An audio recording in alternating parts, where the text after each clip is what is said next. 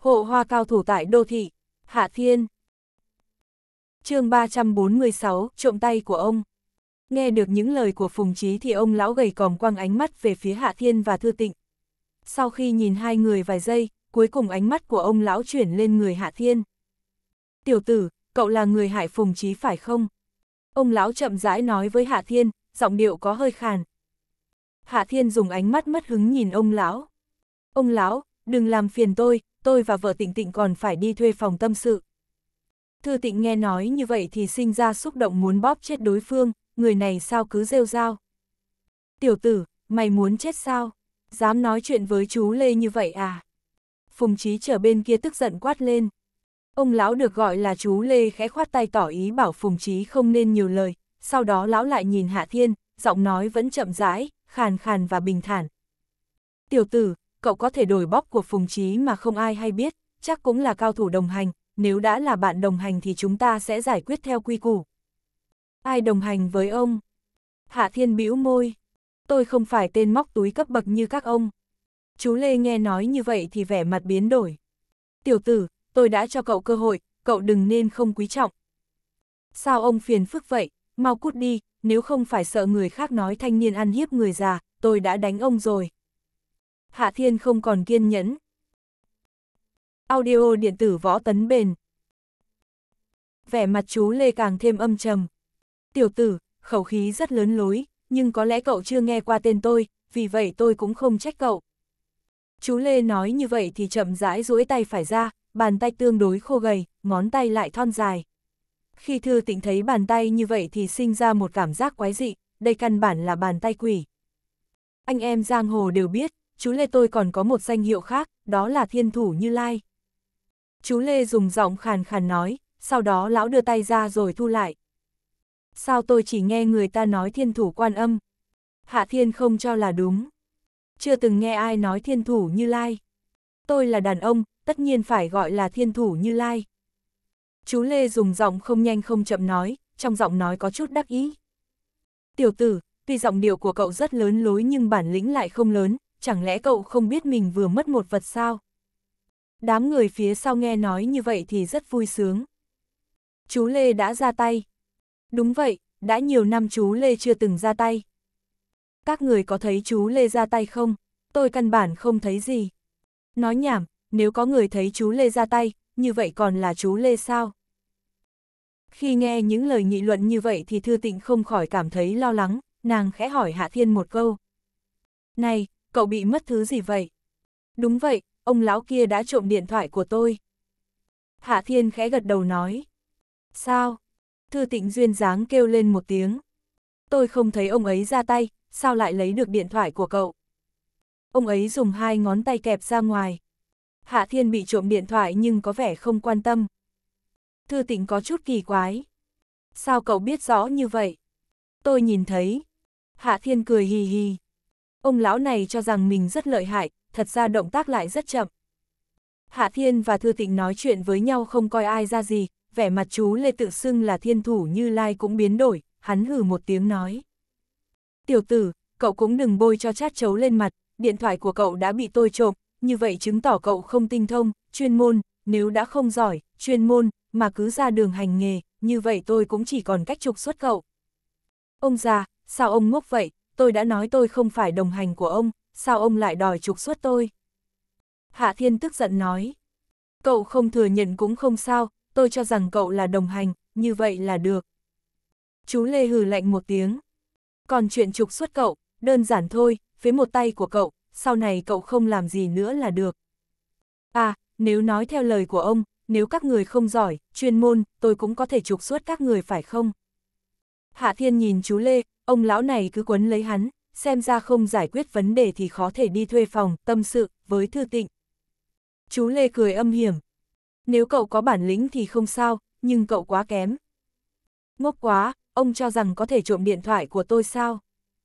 Hạ Thiên dùng ánh mắt khinh thường nhìn chú Lê. Chẳng qua tôi cố ý cho ông trộm mà thôi.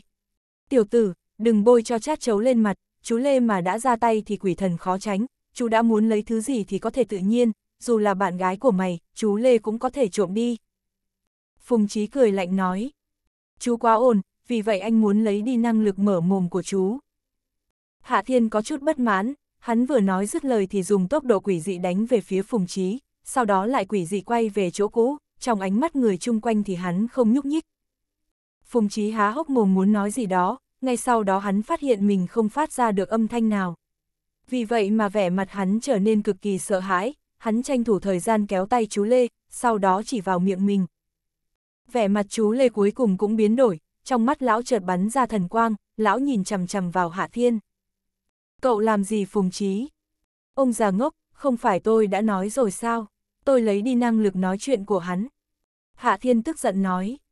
Vẻ mặt chú Lê càng khó coi, lão nhìn Hạ Thiên và nói ra từng chữ. Xem ra tôi đã đánh giá thấp cậu rồi. Ông già ngốc, nếu biết tôi lợi hại thì lui ra, tôi rất bận. Hạ Thiên phất tay mất kiên nhẫn. Chú Lê cũng không có ý bỏ đi, nguyên nhân rất đơn giản, nếu đi như vậy thì sau này danh tiếng của lão sẽ mất sạch. Tất nhiên nguyên nhân quan trọng nhất là chú Lê cho rằng Hạ Thiên chỉ cố ý lừa bịp mà thôi, ít nhất trên hạng mục trộm cướp thì lão có tự tin mạnh hơn Hạ Thiên. Tiểu tử, tôi tin cậu có thủ đoạn, nhưng trong thành phố Giang Hải này, nếu nói về vấn đề ra tay, chuyên môn, nếu chú Lê tôi xếp thứ hai thì không ai xếp thứ nhất. Giọng nói của chú Lê có chút lạnh lùng. Nếu cậu thức thời thì nói rõ đã làm gì với Phùng Trí, nếu không đừng trách tôi không khách khí. Ông thật sự không chịu đi sao? Hạ Thiên có chút khó chịu, ông lão này muốn hắn ra tay sao?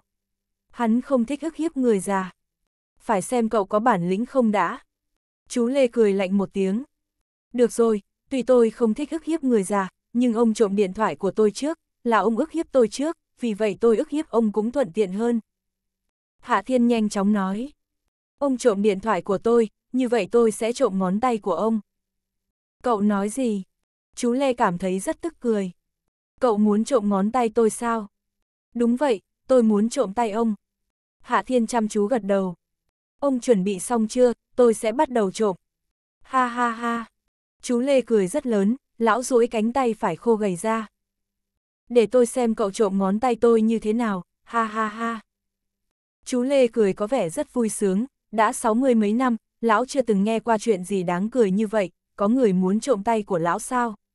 Có thể trộm điện thoại trong túi của đối phương là chuyện khó tưởng, chẳng lẽ vấn đề trộm bộ phận trên người lại không khó tưởng tượng sao? Chú Lê cười cực kỳ vui vẻ, vẻ mặt một tên thanh niên ở bên cạnh lão lại biến đổi lớn, hắn nhìn bàn tay của chú Lê giống như thấy được một sự kiện khủng bố nhất trên đời, giọng nói của hắn cực kỳ lắp bắp. Chú Lê, ngài, ngài xem. Xem cái gì? Chú Lê ngừng cười, lão có chút mất vui. Chú, tay chú. Vẻ mặt tên thanh niên kia có vẻ trắng bệch giống như cực kỳ khó tin. Tay của tôi thế nào? Chú Lê vừa hỏi vừa nhìn về phía bàn tay phải của mình, ngay sau đó lão chợt nghẹn lời, cuối cùng cũng không nói được câu nào. Lúc này vẻ mặt lão đã cực kỳ tái nhợt, thậm chí còn có chút hoảng sợ. Mà đám người còn lại cũng không nhịn được phải nhìn về phía bàn tay của chú Lê, khoảnh khắc này vẻ mặt ai cũng tái nhợt. Bàn tay của chú Lê, vừa rồi là 5 ngón nhưng bây giờ lại thiếu một. Thiếu một ngón tay cũng không phải là chuyện gì khủng khiếp, khủng bố nhất chính là chú Lê thiếu mất một ngón tay nhưng lại không phát hiện ra, không có cảm giác đau đớn, cũng không phát hiện ngón tay mình biến mất, phải đến khi người ta nhắc nhở lão mới phát hiện vấn đề, đúng là quá quỷ dị. Á! lại là một tiếng kêu sợ hãi vang lên, vì đám người phát hiện bàn tay chú Lê lại thiếu đi một ngón. Vừa rồi chỉ mất ngón ta út, nhưng bây giờ ngón tay áp út cũng biến mất cực kỳ quỷ dị. Điều khủng bố nhất chính là ai cũng nhìn vào bàn tay của chú Lê, nhưng không ai biết vì sao ngón tay lại biến mất. Thân thể chú Lê bắt đầu run rẩy, lão cực kỳ sợ hãi, cảm giác khủng bố bao phủ toàn thân. Lão muốn rút tay về, nhưng lúc này lão phát hiện ra cánh tay giống như đã nằm ngoài tầm kiểm soát, lão căn bản không thể rút tay, chỉ có thể đưa ra như vậy mà thôi. Điều làm cho chú Lê cực kỳ hoảng sợ chính là trên tay không truyền đến bất kỳ cảm giác đau đớn gì, hai ngón tay đã mất đi, lão không cảm thấy đau. Cậu, cậu làm gì tôi? Chú Lê nhìn Hạ Thiên, giọng nói run rẩy, vẻ mặt sợ hãi. Tôi có làm gì đâu. Hạ Thiên cười hì hì nói. Lại mất thêm một ngón. Có người hô lên kinh hoàng. Vẻ mặt chú Lê càng tái nhợt, đúng vậy, lần này ngón giữa đã biến mất. Trời ạ, có phải có quỷ không? Có người nơm nấp lo sợ. Không, không biết, hình như có chút u ám. Một người khác cảm thấy run rẩy, thật ra nơi này nào có u ám, ven đường lớn mà u ám gì. Hết rồi, mất hết rồi. Có người hô lớn. Có quỷ, chạy mau.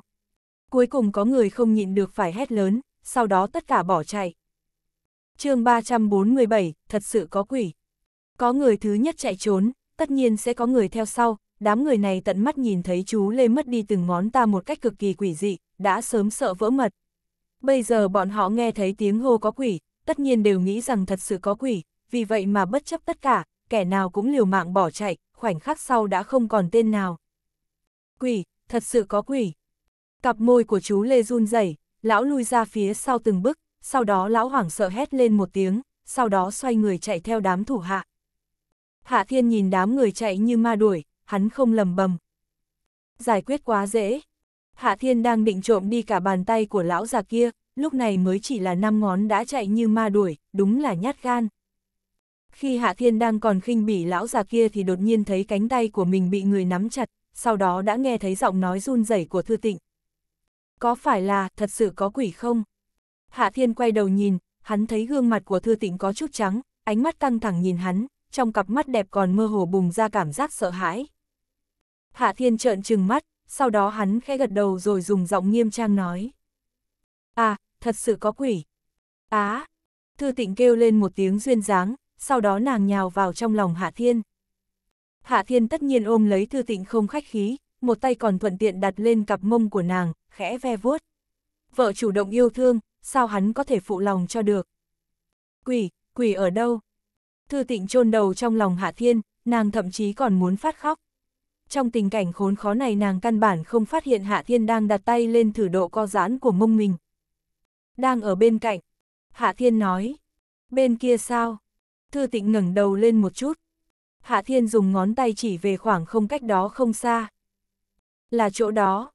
Tôi, sao tôi không thấy? Thư tịnh cả gan nhìn qua, sau đó cũng không thấy gì. Tất nhiên chị sẽ không thấy, người sao nhìn thấy quỷ. Hạ Thiên cười hì hì nói. Thư tịnh cuối cùng cũng cảm thấy lạ. Sao cậu lại thấy? Tôi cũng có thấy đâu. Hạ Thiên cười hì hì, lúc này hai tay đã đưa lên bóp bóp bộ ngực của Thư tịnh, cảm giác quá tuyệt, hắn không nỡ rút tay về.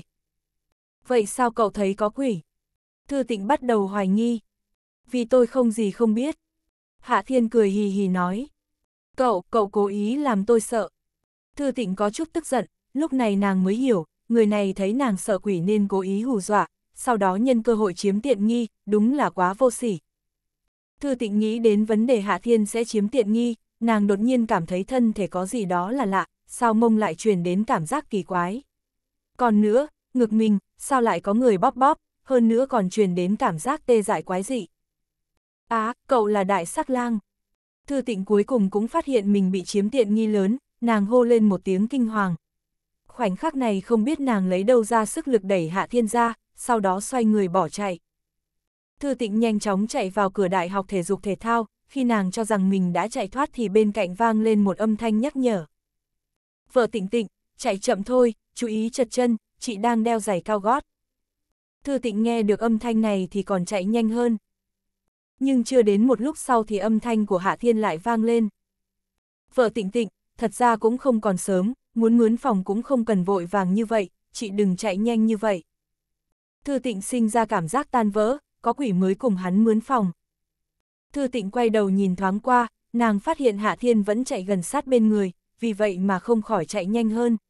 Nàng vẫn không nghĩ ra, người này đã uống nhiều bia như vậy, chưa nói đến vấn đề say, ít nhất cũng có ảnh hưởng chứ. Sao còn chạy nhanh như vậy? Vợ tịnh tịnh chú ý, trước mặt có đá. Hạ Thiên đột nhiên mở miệng nói, nhưng hắn còn chưa nói dứt lời thì Thư Tịnh đã dẫm chân lên một cục đá. Á, à, đau quá. Thư Tịnh ngừng lại, nàng ngồi trồm hổm trên mặt đất, hai tay bụng lấy mắt cá chân, sau đó dùng ánh mắt tức tối nhìn Hạ Thiên. Đại sắc lang này đúng là nói xui, nàng đã chật chân thật. Thật ra Thư Tịnh chật chân cũng chỉ là vấn đề bình thường, tuy nàng là người đẹp thể thao, vấn đề là ở chỗ hôm nay nàng làm người mẫu xe hơi, khi đi về cũng không thay quần áo ngay, hơn nữa còn không thay giày cao gót. Không phải nàng không muốn thay, chẳng qua nàng không có cơ hội, tất cả cũng chỉ vì Hạ Thiên. Dưới tình huống bình thường, dù không thay giày cao gót cũng không sao, nhưng nếu mang giày cao gót mà bỏ chạy, đây là vấn đề lớn. Thực tế Thư Tịnh chạy vài trăm mét mới chật chân, điều này cũng đã là may mắn. Vợ tịnh tịnh, tôi đã nói chị đừng gấp gáp, bây giờ chật chân thấy chưa? Hạ Thiên ngồi trồm hổm xuống, sau đó hắn cũng không quan tâm Thư Tịnh có tình nguyện hay không, hắn bế nàng lên. Vợ Tịnh Tịnh, chúng ta đi đâu đây? Tôi ôm chị đi.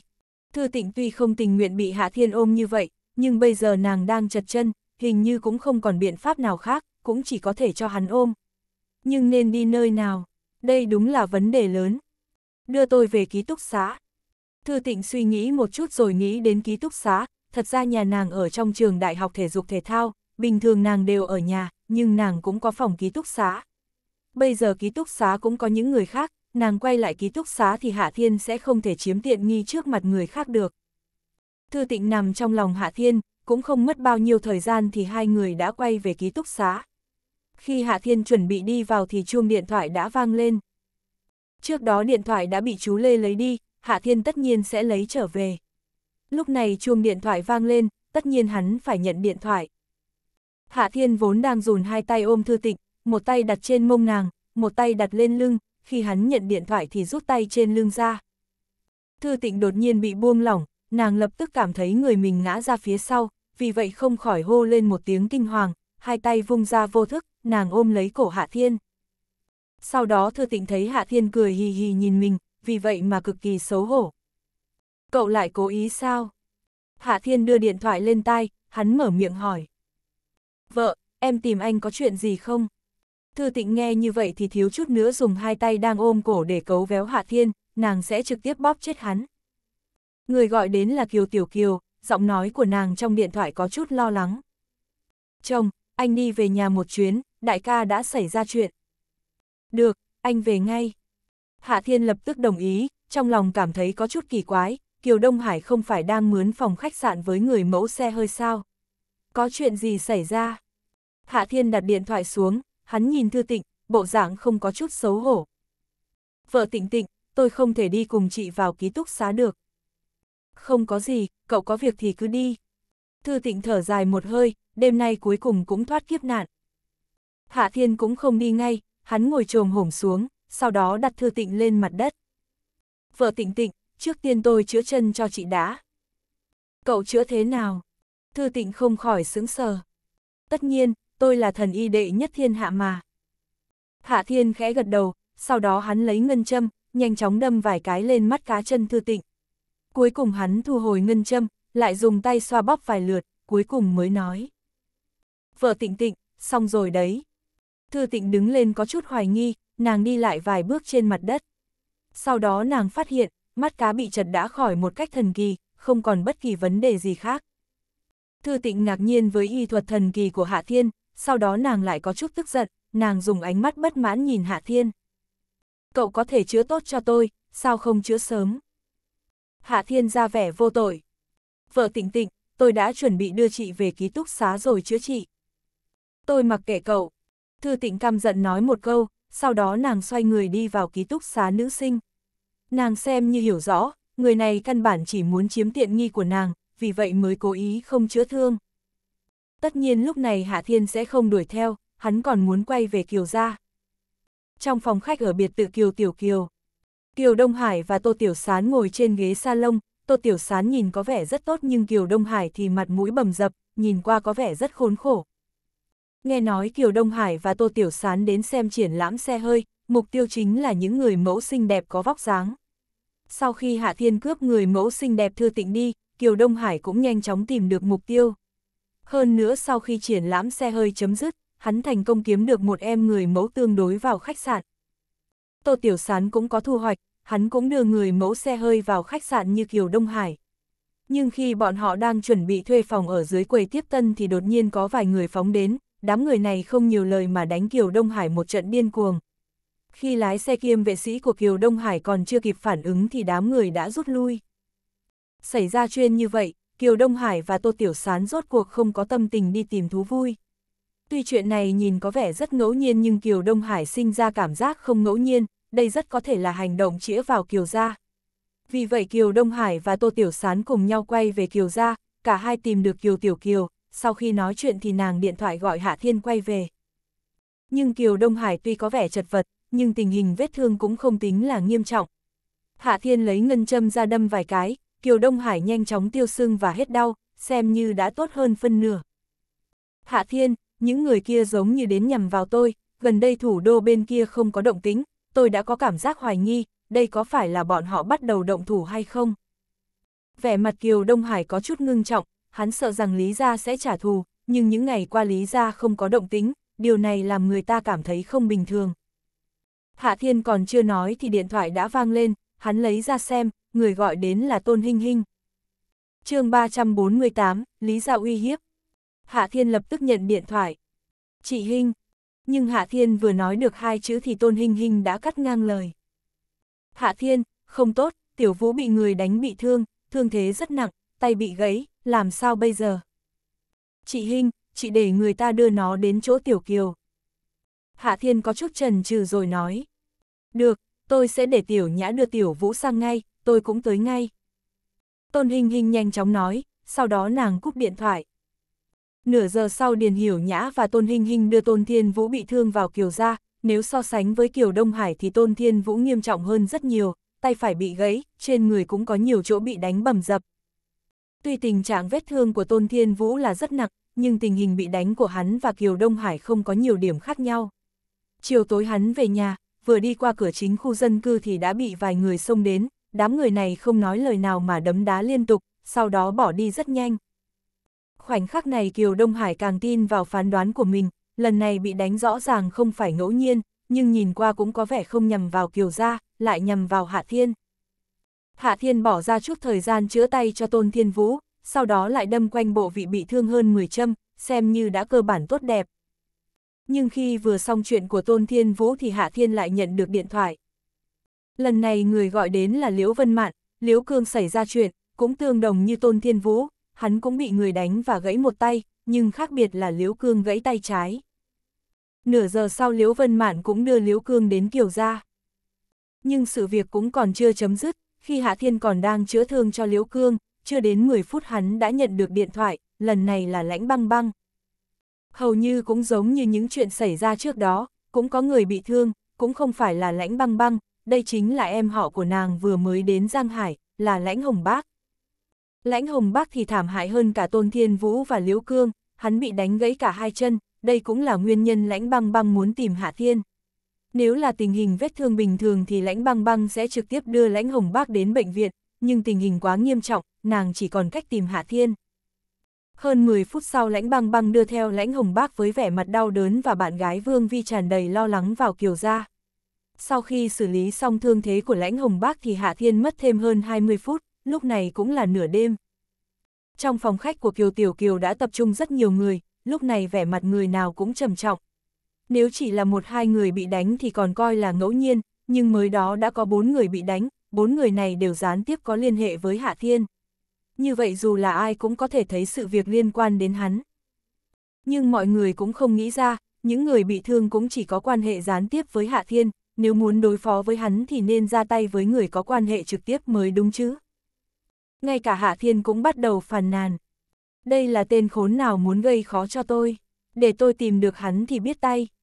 Hạ Thiên vừa nói xong thì điện thoại lại vang lên. Khi nghe thấy tiếng chuông điện thoại thì mọi người không tự chủ được phải nhìn Hạ Thiên, trong lòng đều nghĩ đến một người xui xẻo khác, là ai bị thương nửa đây.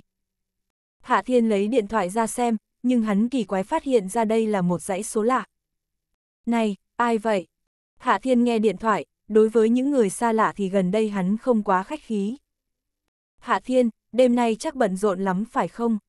Đầu bên kia vang lên một giọng đàn ông xa lạ, chỉ cần nghe giọng điệu thì thấy đối phương còn rất trẻ, thậm chí còn chưa đến 20.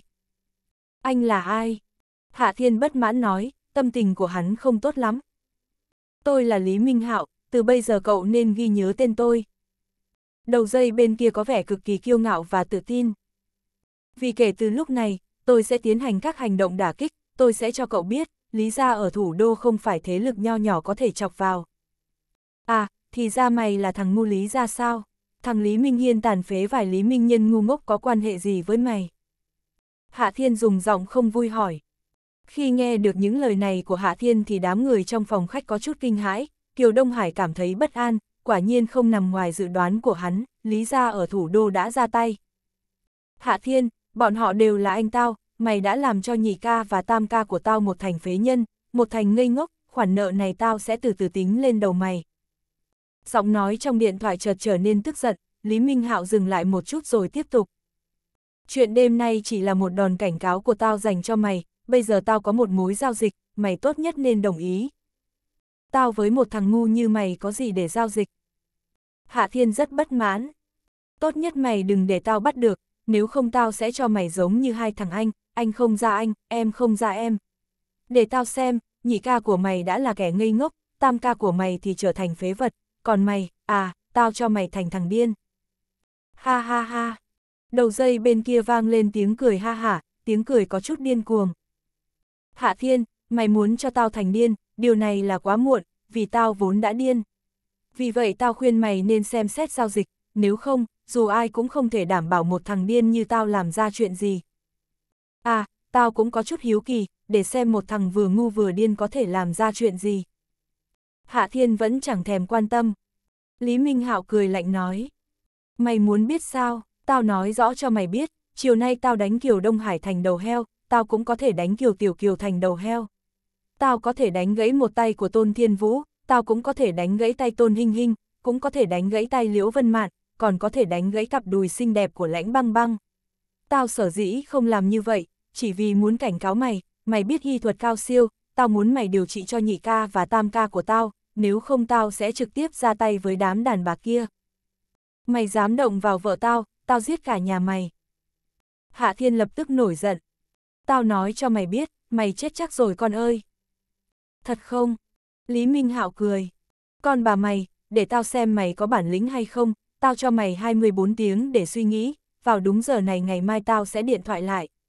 Nếu mày không chịu chữa thương cho hai anh của tao, chỉ sợ tao không những đánh vợ mày bị thương.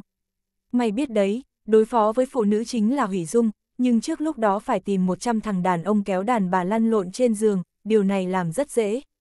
Mày phải tin, tao bất cứ lúc nào cũng có thể làm được điều này. Lý Minh Hạo nói xong thì cúp điện thoại. Thằng ngu, mày nhất định phải chết. Hạ Thiên nổi giận, thằng khốn này dám uy hiếp hắn, đúng là muốn chết. Hắn cũng không cần quan tâm đối phương là Lý Gia hay Triệu Gia ở thủ đô, nếu uy hiếp vợ hắn thì chỉ còn nước đi xuống địa ngục an cư lạc nghiệp. Hạ Thiên, ai điện thoại đến vậy? Khi thấy Hạ Thiên cúp điện thoại thì Kiều Đông Hải không nhịn được hỏi. Một thằng ngu tên là Lý Minh Hạo, nói nó là em của Lý Minh Nhân và Lý Minh Hiên. Hạ Thiên tức giận nói. Thằng khốn này dám lấy vợ để uy hiếp tôi, bây giờ tôi phải đi xử lý hắn. Chồng, đối phương nói gì? Kiều Tiểu Kiều mở miệng hỏi. Hắn muốn anh chữa tốt cho hai thằng anh bị phế, nếu không nó sẽ đối phó với các em. Hạ Thiên rất bất mãn. Hừ, gần đây mình chỉ uy hiếp người khác, bây giờ đến lượt bị kẻ khác uy hiếp, nếu còn mặc kệ thì đối phương tưởng rằng minh sẽ dễ ức hiếp. Như vậy chuyện đêm nay là đối phương muốn cảnh cáo chúng ta sao? Lãnh băng băng mở miệng hỏi. Xem ra là như vậy. Kiều Tiểu Kiều khẽ gật đầu. Đại ca, chúng ta tăng mạnh phòng bị, mặt khác anh có thể tìm vài người đáng tin bảo vệ các chị lãnh băng băng. Điều này không thành vấn đề, nhưng lý ra ở thủ đô có rất nhiều cao thờ ru, thủ hạ của anh không phải là đối thủ của bọn họ. Tất nhiên anh sẽ sắp xếp, dù không phải là đối thủ cũng cầm cự được chút thời gian. Kiều Đông Hải khẽ gật đầu, sau đó hắn quay sang nhìn lãnh băng băng. Về phía cảnh sát lãnh thì không quá lo lắng, theo tôi được biết thì chị lãnh luôn được cao thủ lôi ra bảo vệ. Những người này rất mạnh, dù gặp phải cao thủ lý ra, không thắng cũng sẽ không bại quá nhanh. Vậy anh sắp xếp nhân thủ đi, trước tiên tôi đi xử lý tên ngốc Lý Minh Hạo rồi nói sau. Hạ Thiên Sen vào một câu, sau đó há xoay người đi ra. Cậu biết hắn ở đâu sao? Lãnh băng băng không khỏi hỏi. Không biết, nhưng tên khốn kia vừa điện thoại cho tôi, tôi có thể kiểm tra hắn đang ở đâu.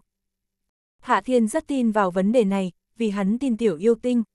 Hắn nhớ trước kia tiểu yêu tinh đã dễ dàng tìm được liễu mộng, bây giờ nhờ nàng tìm Lý Minh Hạo, chắc cũng không có vấn đề. Hạ Thiên nghĩ vậy mà lấy điện thoại ra, hắn đột nhiên nhớ ra mình không có điện thoại của tiểu yêu tinh, trước kia chỉ gặp nàng trên mạng, vì vậy hắn điện thoại cho Mộc Hàm.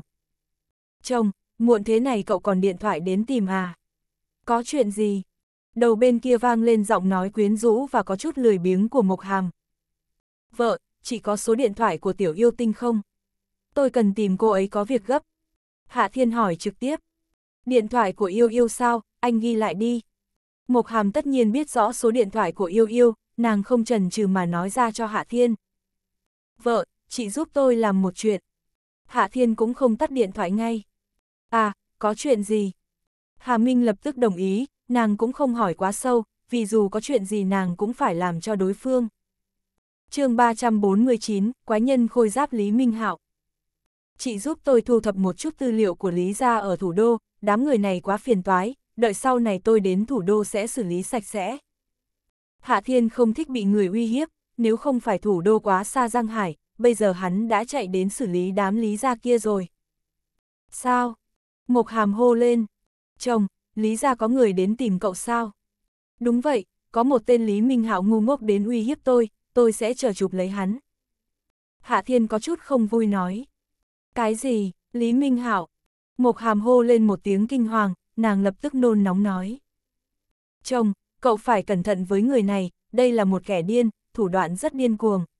Tuy người này cũng không lớn tuổi, chỉ mới 18 tuổi nhưng có danh tiếng rất lớn ở thủ đô. Thường thì không có ai dám xung đột với hắn, bởi vì hắn làm việc không theo bất kỳ quy tắc nào. Mặc kệ nó là thằng điên hay thằng ngu, tôi sẽ giết hắn, để xem hắn làm được gì. Hạ Thiên không cho là đúng. Vợ, tóm lại chỉ cứ thu thập các tư liệu về Lý Gia ở thủ đô, nếu biết trong đám người bọn họ có ai đến Giang Hải thì nhớ nói cho tôi biết trước, trước tiên tôi sẽ nhờ tiểu yêu tinh tìm Lý Minh Hạo, bắt thằng điên kia rồi nói sau. Được rồi, chồng, tôi sẽ nhanh chóng điều tra, nếu có tin tức sẽ thông báo ngay. Mộc Hàm lên tiếng, tuy Mộc Hàm cảm thấy Hạ Thiên và Lý Gia náo loạn cũng không quá tốt, nhưng lúc này nàng không hề nghi ngờ thái độ kiên quyết của Hạ Thiên. Nàng cũng kiên quyết đứng về phía Hạ Thiên, nàng sẽ cố gắng dùng hết sức để giúp hắn, đơn giản vì hắn là đàn ông của nàng, là người bảo vệ nàng qua vô số lần nguy nan. Được, trước tiên tôi tìm tiểu yêu tinh cái đã. Hạ Thiên cúp điện thoại, sau đó hắn điện thoại đến cho tiểu yêu tinh. Một phút sau tiểu yêu tinh mới nhận điện thoại. Chồng, muộn như vậy anh còn tìm em làm gì? Sao nhận điện thoại lâu vậy? Hạ Thiên có chút mất hứng. Chồng, người ta đang bận rộn với máy tính, đang hack máy của người ta phải lập tức nhận điện thoại của anh, đừng nóng nhé. Giọng nói của tiểu yêu tinh rất nũng nịu, rõ ràng muốn ton hót với Hạ Thiên.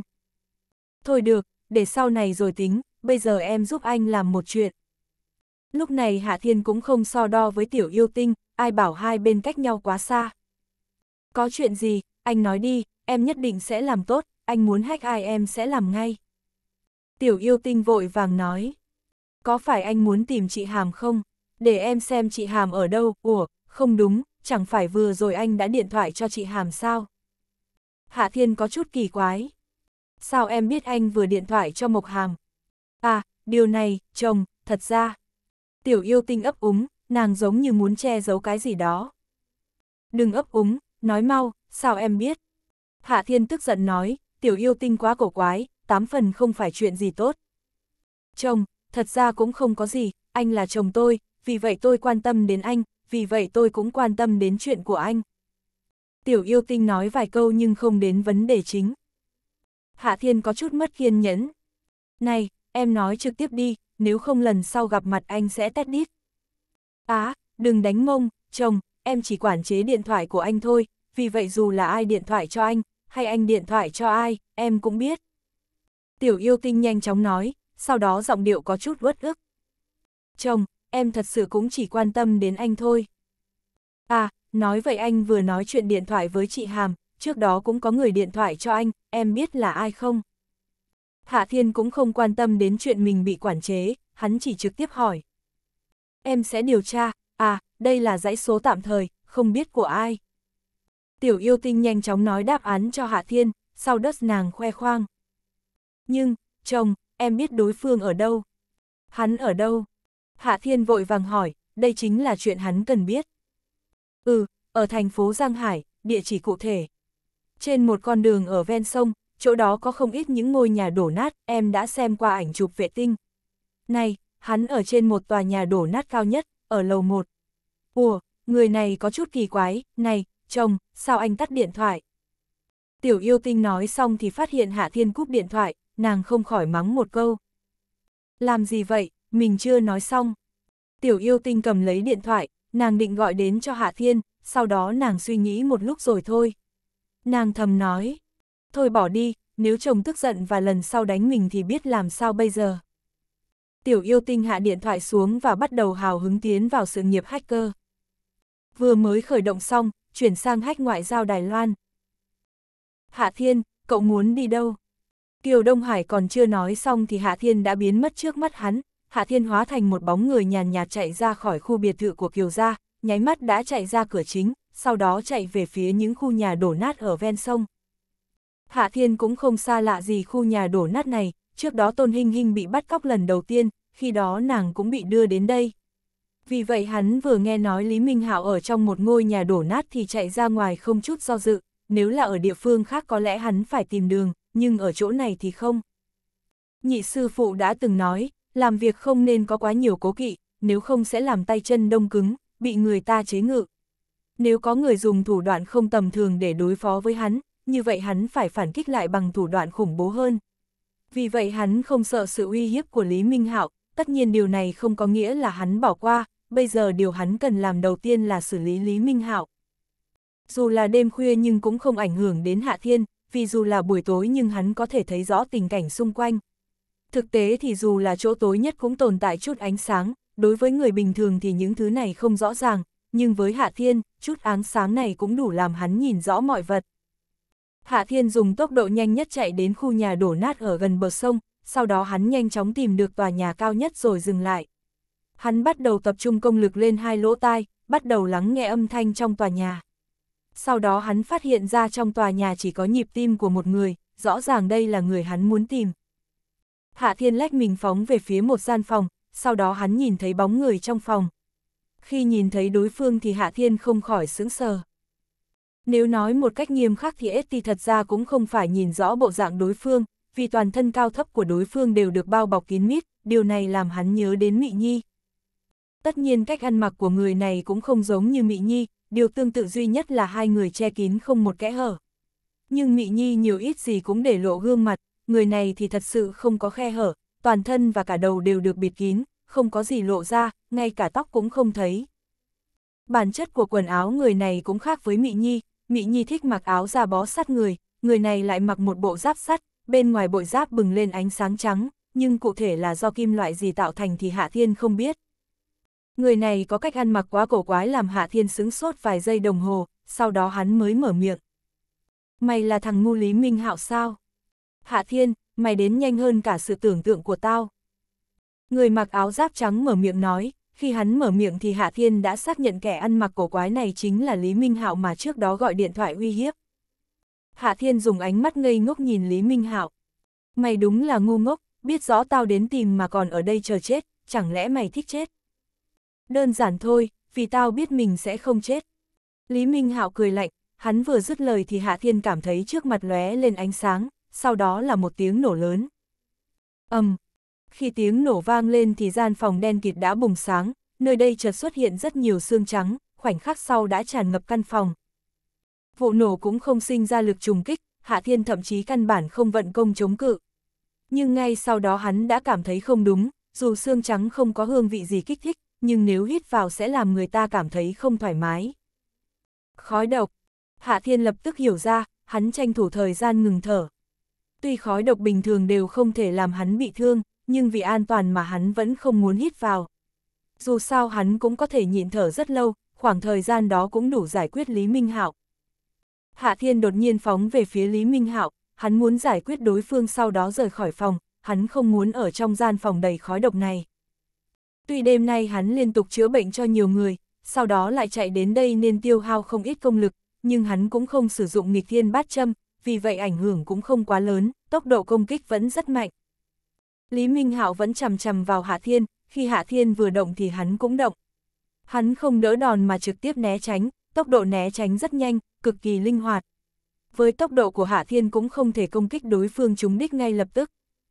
Điều này làm cho ST có chút khó chịu, hắn điều động công lực toàn thân để tăng tốc.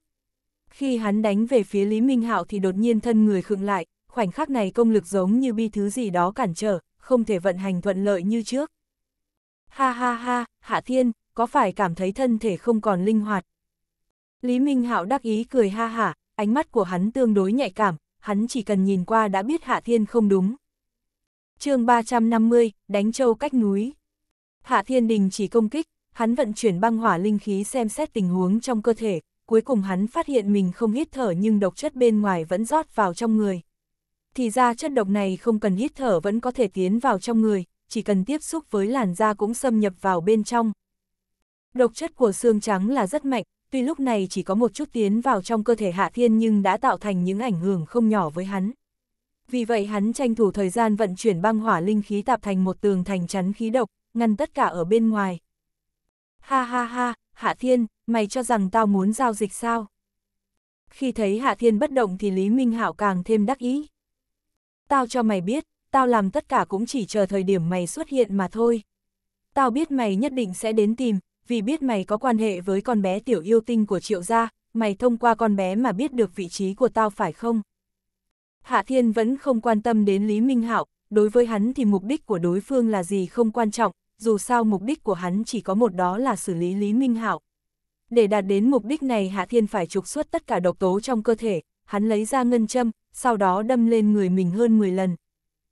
Thầy thuốc không tự chữa cho mình, đây chẳng qua chỉ là cách nói thông tục, nhưng Hạ Thiên không phải vậy, hắn có thể chữa cho người khác, cũng có thể chữa cho mình.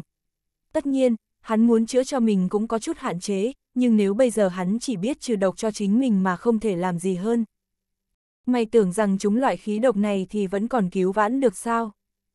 Lý Minh Hạo cười lạnh một tiếng. Bây giờ mày đi chết đi. Lý Minh Hạo còn chưa nói dứt lời thì đã đánh về phía Hạ Thiên, lúc này hắn chủ động tấn công. Ngu!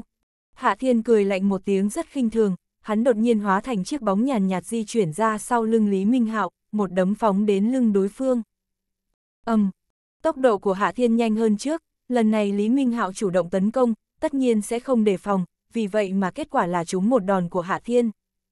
Lý Minh Hạo bị Hạ Thiên đấm văng ra phía trước vài mét, sau đó khốn khổ rơi xuống đất. Khi rơi xuống đất hắn vẫn đứng vững mà không ngã xuống. Ha ha ha. Lý Minh Hạo cười ha hả, hắn xoay người nhìn Hạ Thiên, giọng nói càng thêm đắc ý. Hạ Thiên, tao không ngờ mày không sợ khói độc, như vậy thì sao? Kết quả là mày căn bản không thể đánh tao bị thương, đứng trước mặt tao chỉ có kết cục thất bại mà thôi. Hạ Thiên chừng mắt nhìn Lý Minh Hạo, trong lòng cảm thấy quái lạ. Một đấm vừa rồi hắn dùng hết tất cả khí lực, sao đối phương vẫn không việc gì. Lý Minh Hạo nói, Hạ Thiên, đây là một bộ giáp kỹ thuật cực cao, dù có võ công cao cường cũng chưa đủ. Mày chắc không biết bộ giáp trên người tao chế tạo bằng vật liệu gì phải không? Mày không biết cũng chẳng sao, nhưng tao sẽ nói cho mày biết. Bộ giáp của tao chẳng những chống cháy chống độc, dù là tên lửa bắn lên thì tao vẫn bình yên. À, thì ra mày là thằng ngu ỉ vào bộ giáp trên người. Hạ Thiên cuối cùng cũng hiểu ra. Mày đúng là ngu ngốc, tao vốn còn đang suy nghĩ nên đánh mày thế nào, bây giờ mày nói như vậy thì tao cho chết. Người chết không phải là tao, phải là mày. Lý Minh Hạo cười lạnh. Đêm nay mày dám xuất hiện, chỉ có chết. Hạ Thiên không muốn nói nhảm với Lý Minh Hạo, hắn lóe lên đánh về phía Lý Minh Hạo, lại đấm ra như chớp. Không biết có phải vì quá tự tin hay không mà Lý Minh Hạo căn bản không thèm né tránh, hắn cứ đứng yên, vì vậy một đấm của Hạ Thiên sẽ trúng ngực hắn. Một đấm đánh vào ngực của Lý Minh Hạo, thậm chí cũng không phát ra âm thanh nào, mà Lý Minh Hạo vẫn đứng yên không động đậy. Ha ha ha. Lý Minh Hạo cười ha hả. Hạ Thiên, một đấm của mày sao gãi ngứa giống đàn bà vậy, không có chút sức lực nào, á.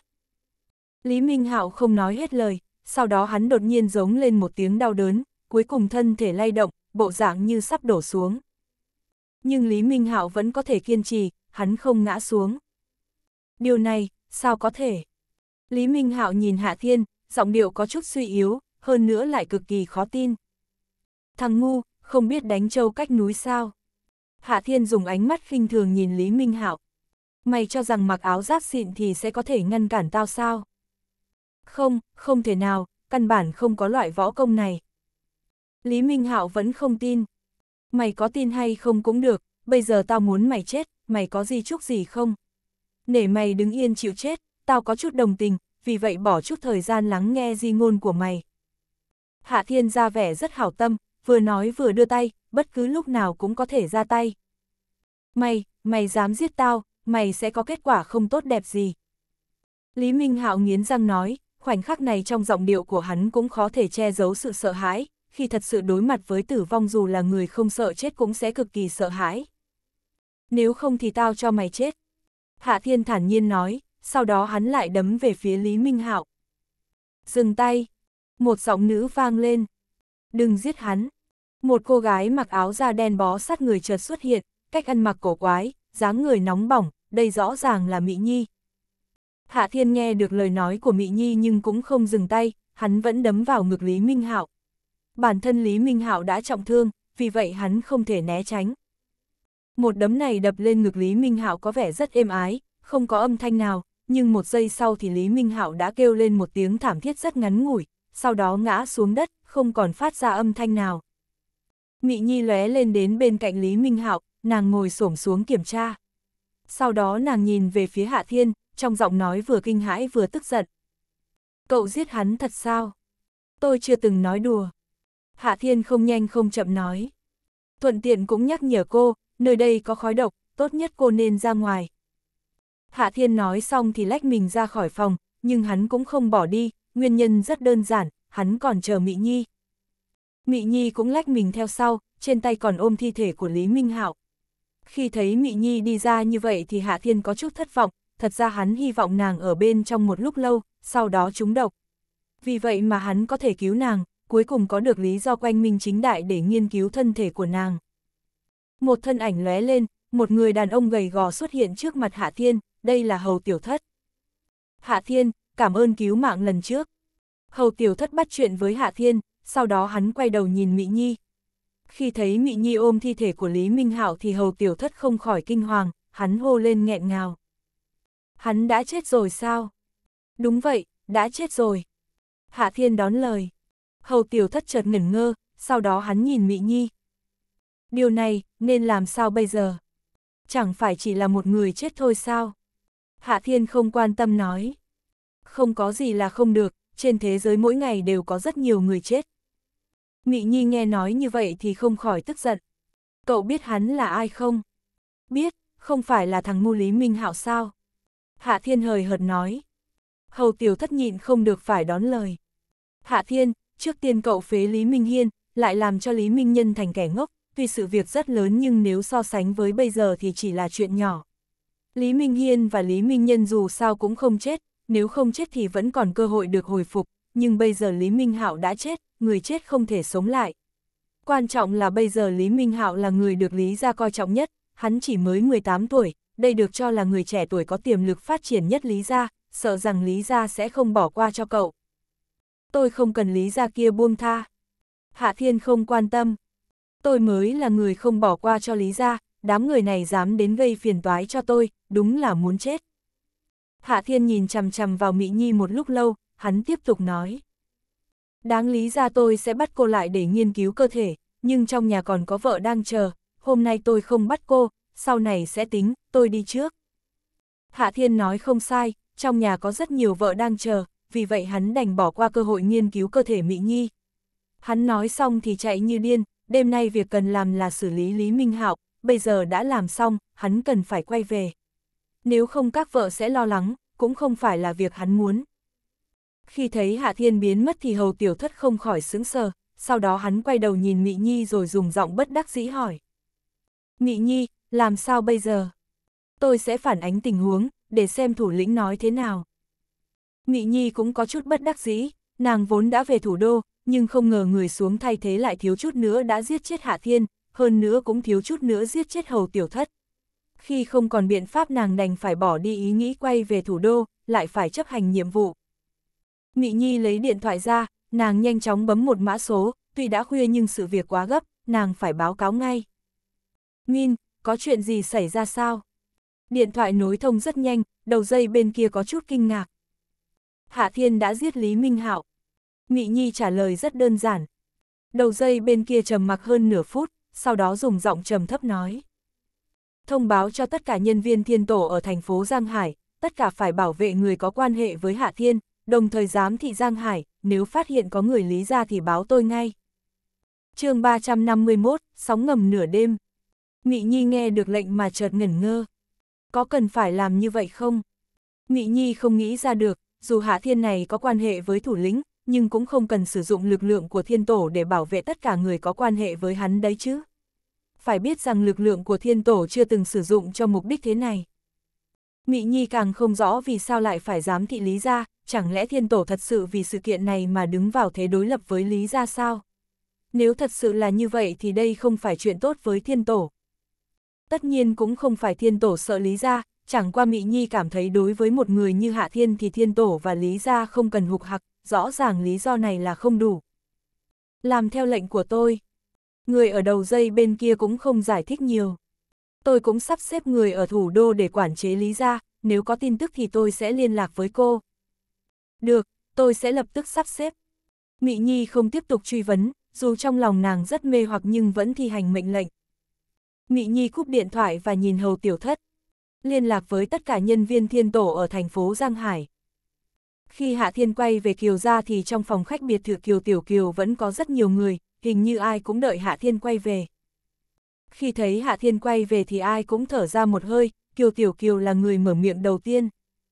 Chồng, anh vừa đi đâu? Anh đi xử lý tên Lý Minh Hạo ngu ngốc. Hạ Thiên ra vẻ tùy ý nói. Lãnh băng băng không nhịn được phải đón lời.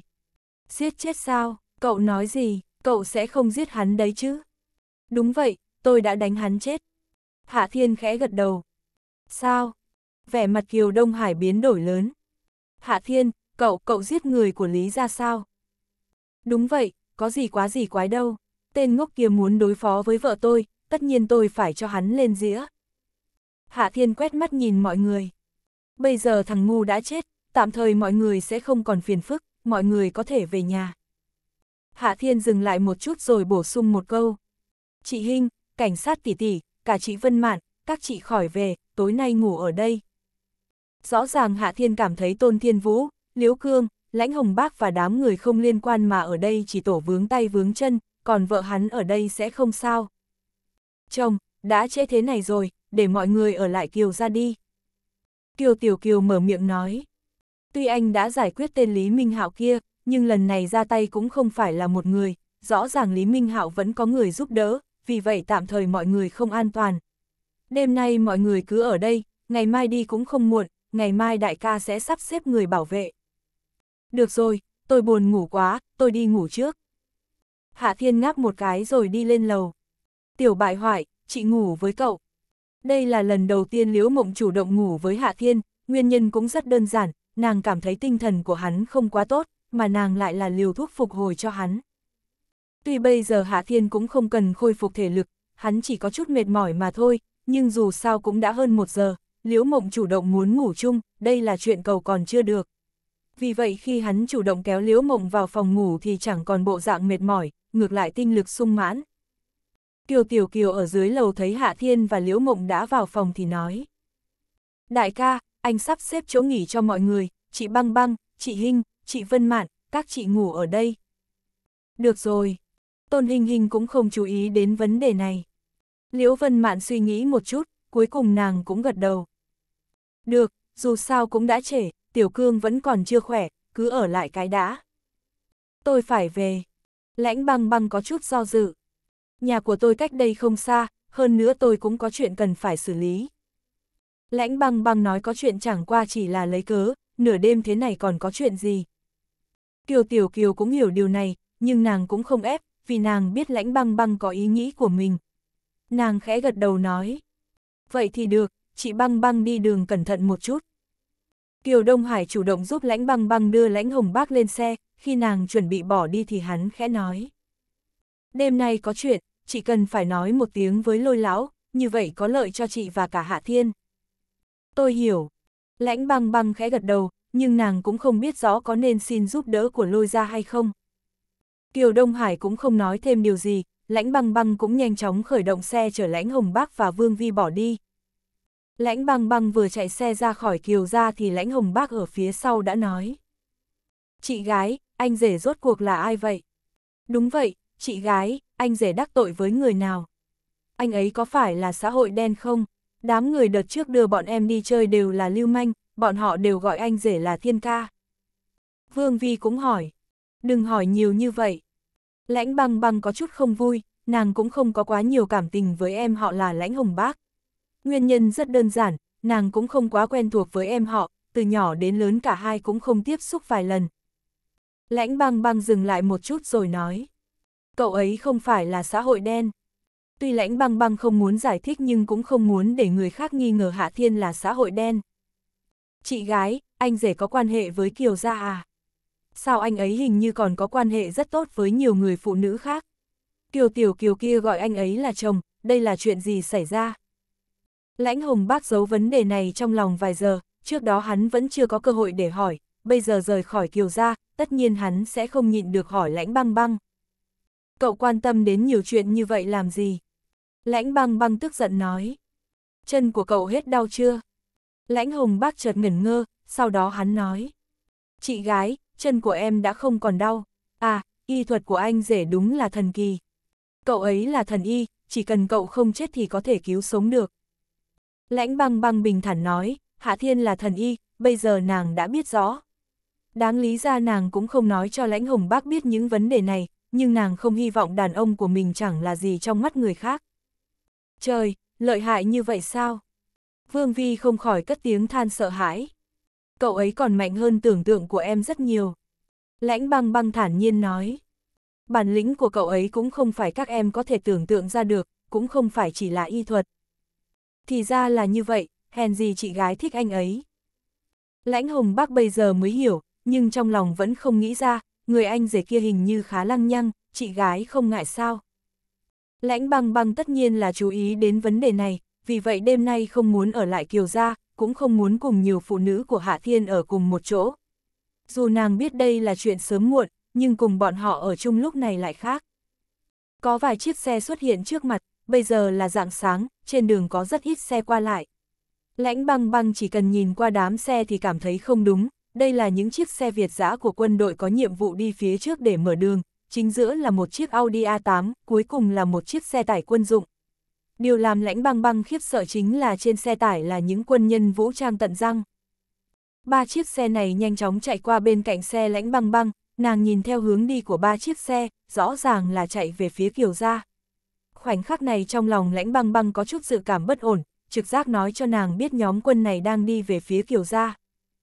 Lãnh băng băng có chút do dự, sau đó nàng ngoặt tay lái chạy sau vài chiếc xe bộ đội. Vài phút sau nàng phát hiện ra những gì mình suy đoán là thật, ba chiếc xe dừng lại trước cổng Kiều Gia, sau đó nhóm bộ đội có vũ trang vọt vào bên trong. Lãnh băng băng tranh thủ lấy điện thoại ra gọi cho Kiều Tiểu Kiều. Trong biệt thự của Kiều Tiểu Kiều lúc này khá quạnh quẽ, ngoài Liễu Vân Mạn và Tôn Hinh Hinh thì tất cả đều đã được Kiều Đông Hải đưa đi. Kiều gia tất nhiên có rất nhiều nhà khách, sắp xếp vài người không thành vấn đề. Kiều Tiểu Kiều vừa sắp xếp phòng ngủ cho Tôn Hinh Hinh và Liễu Vân Mạn, khi đang chuẩn bị quay về phòng thì nhận được điện thoại của Lãnh Băng Băng. Khi nàng nghe được nội dung lời nói của Lãnh Băng Băng thì lập tứ chấn động. Kiều Tiểu Kiều tranh thủ điện thoại thông báo cho Kiều Đông Hải, sau đó nàng vội vàng chạy lên gõ cửa phòng ngủ Hạ Thiên. Chồng, không tốt. Kiều Tiểu Kiều hô lớn. Có bội đội xông vào, có thể bọn họ đến tìm anh.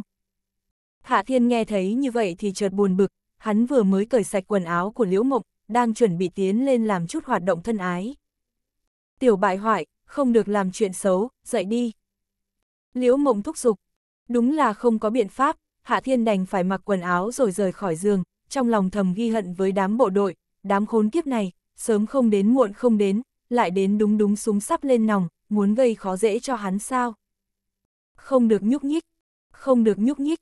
Hạ Thiên vừa mặc quần áo chỉnh tề thì nghe thấy những tiếng bước chân rồn rập, sau đó là những âm thanh quát tháo.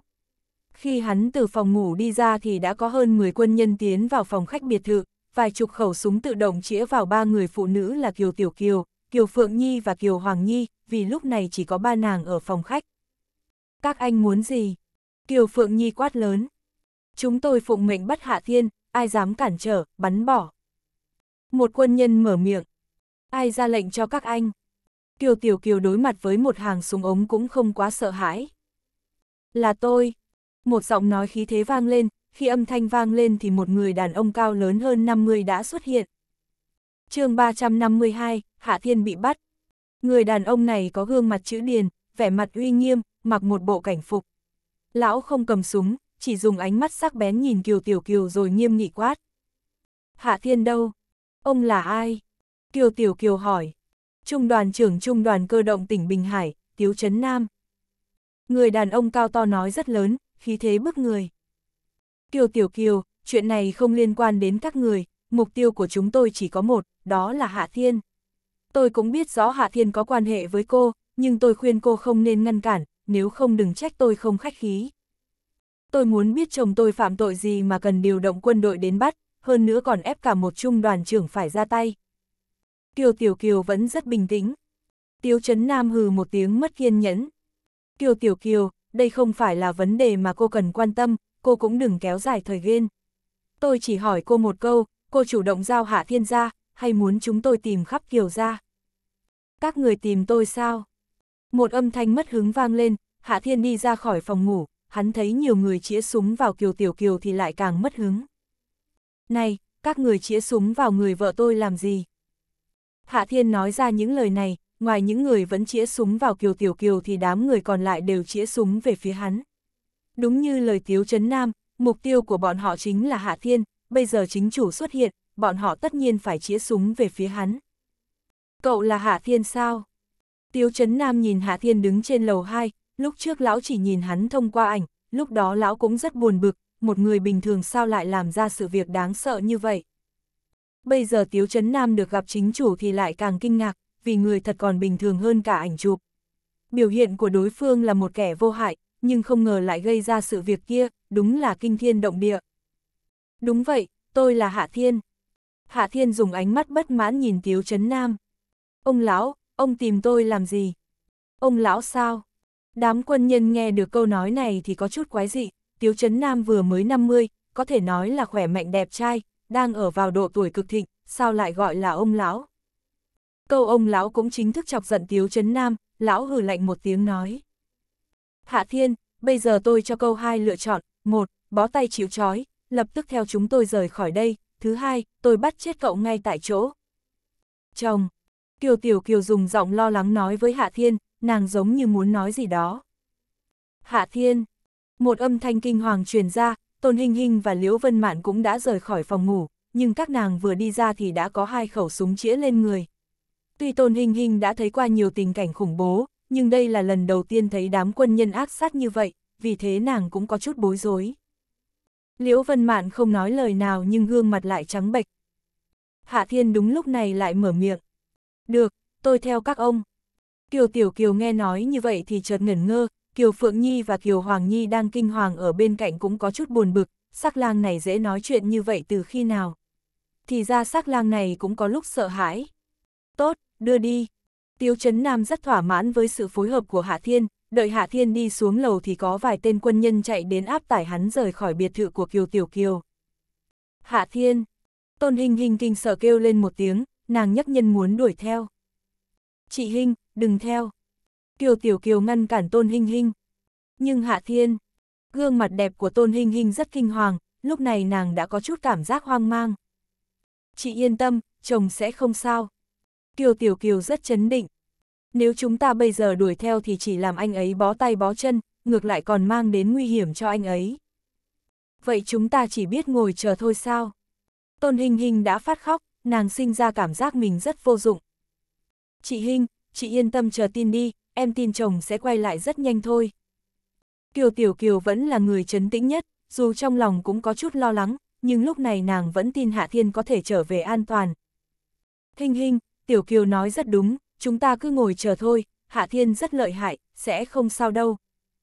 Liễu Vân Mãn lúc này cũng rất chấn tĩnh, nàng ở bên cạnh an ủi Tôn Hinh Hinh. Đúng lúc này có một đám người vọt lên, là Kiều Đông Hải, khi thấy Kiều Tiểu Kiều thì hắn vội vàng hỏi. Hạ Thiên đâu? Bị quân đội đưa đi.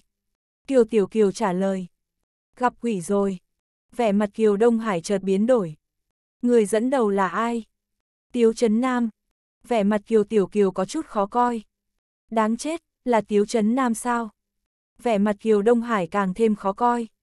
Kiều gia tuy bảo vệ rất tốt, nhưng đối diện với quân đội được vũ trang tận răng thì bọn họ không có năng lực ngăn cản, cũng vì vậy mà đám bộ đội dưới tay Tiếu Trấn Nam mới có thể đi thẳng đến biệt thự của Kiều Tiểu Kiều, sau đó thuận lợi đưa Hạ Thiên đi.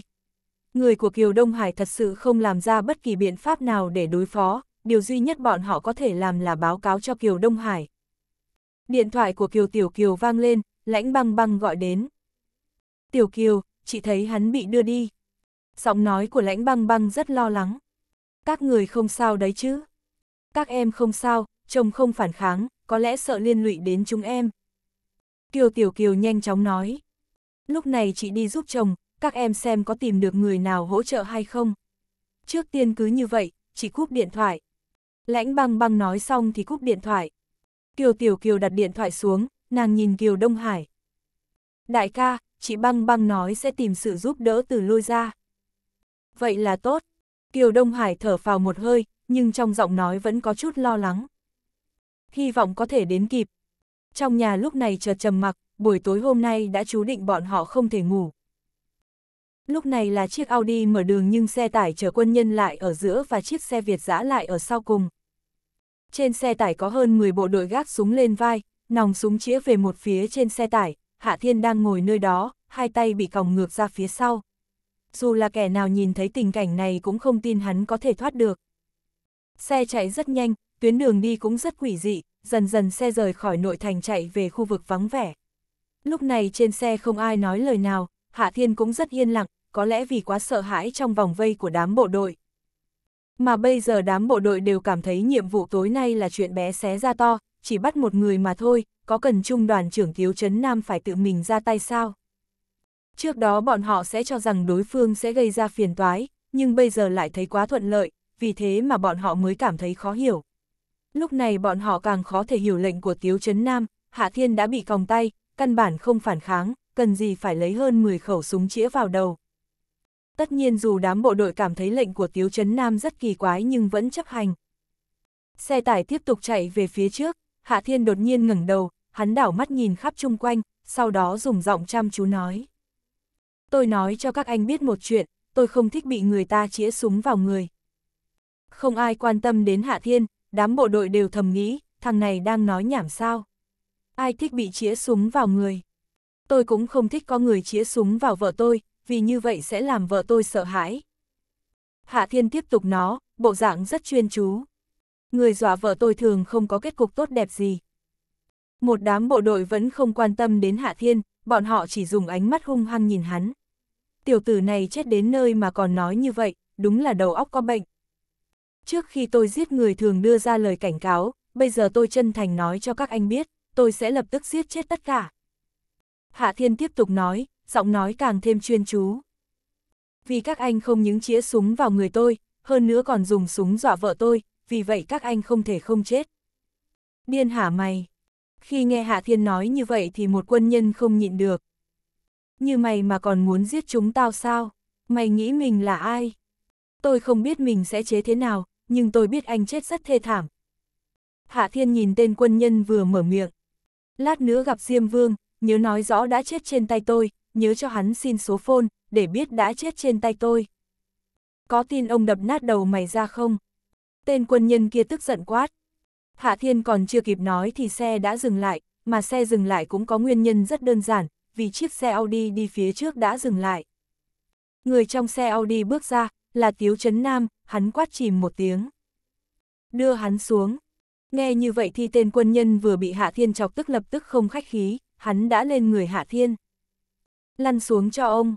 Hạ Thiên không tránh một đá của đối phương, hắn chỉ nhìn tên quân nhân rồi nói. Tôi không so đo với kẻ sắp chết, nhưng lát nữa tôi sẽ lấy chân của anh trước khi cho lên dĩa. Con bà nó, ông đã gặp nhiều loại người, chưa từng thấy thằng nào giống mày, đến lúc này mà người to mồm, ý nghĩ kỳ lạ.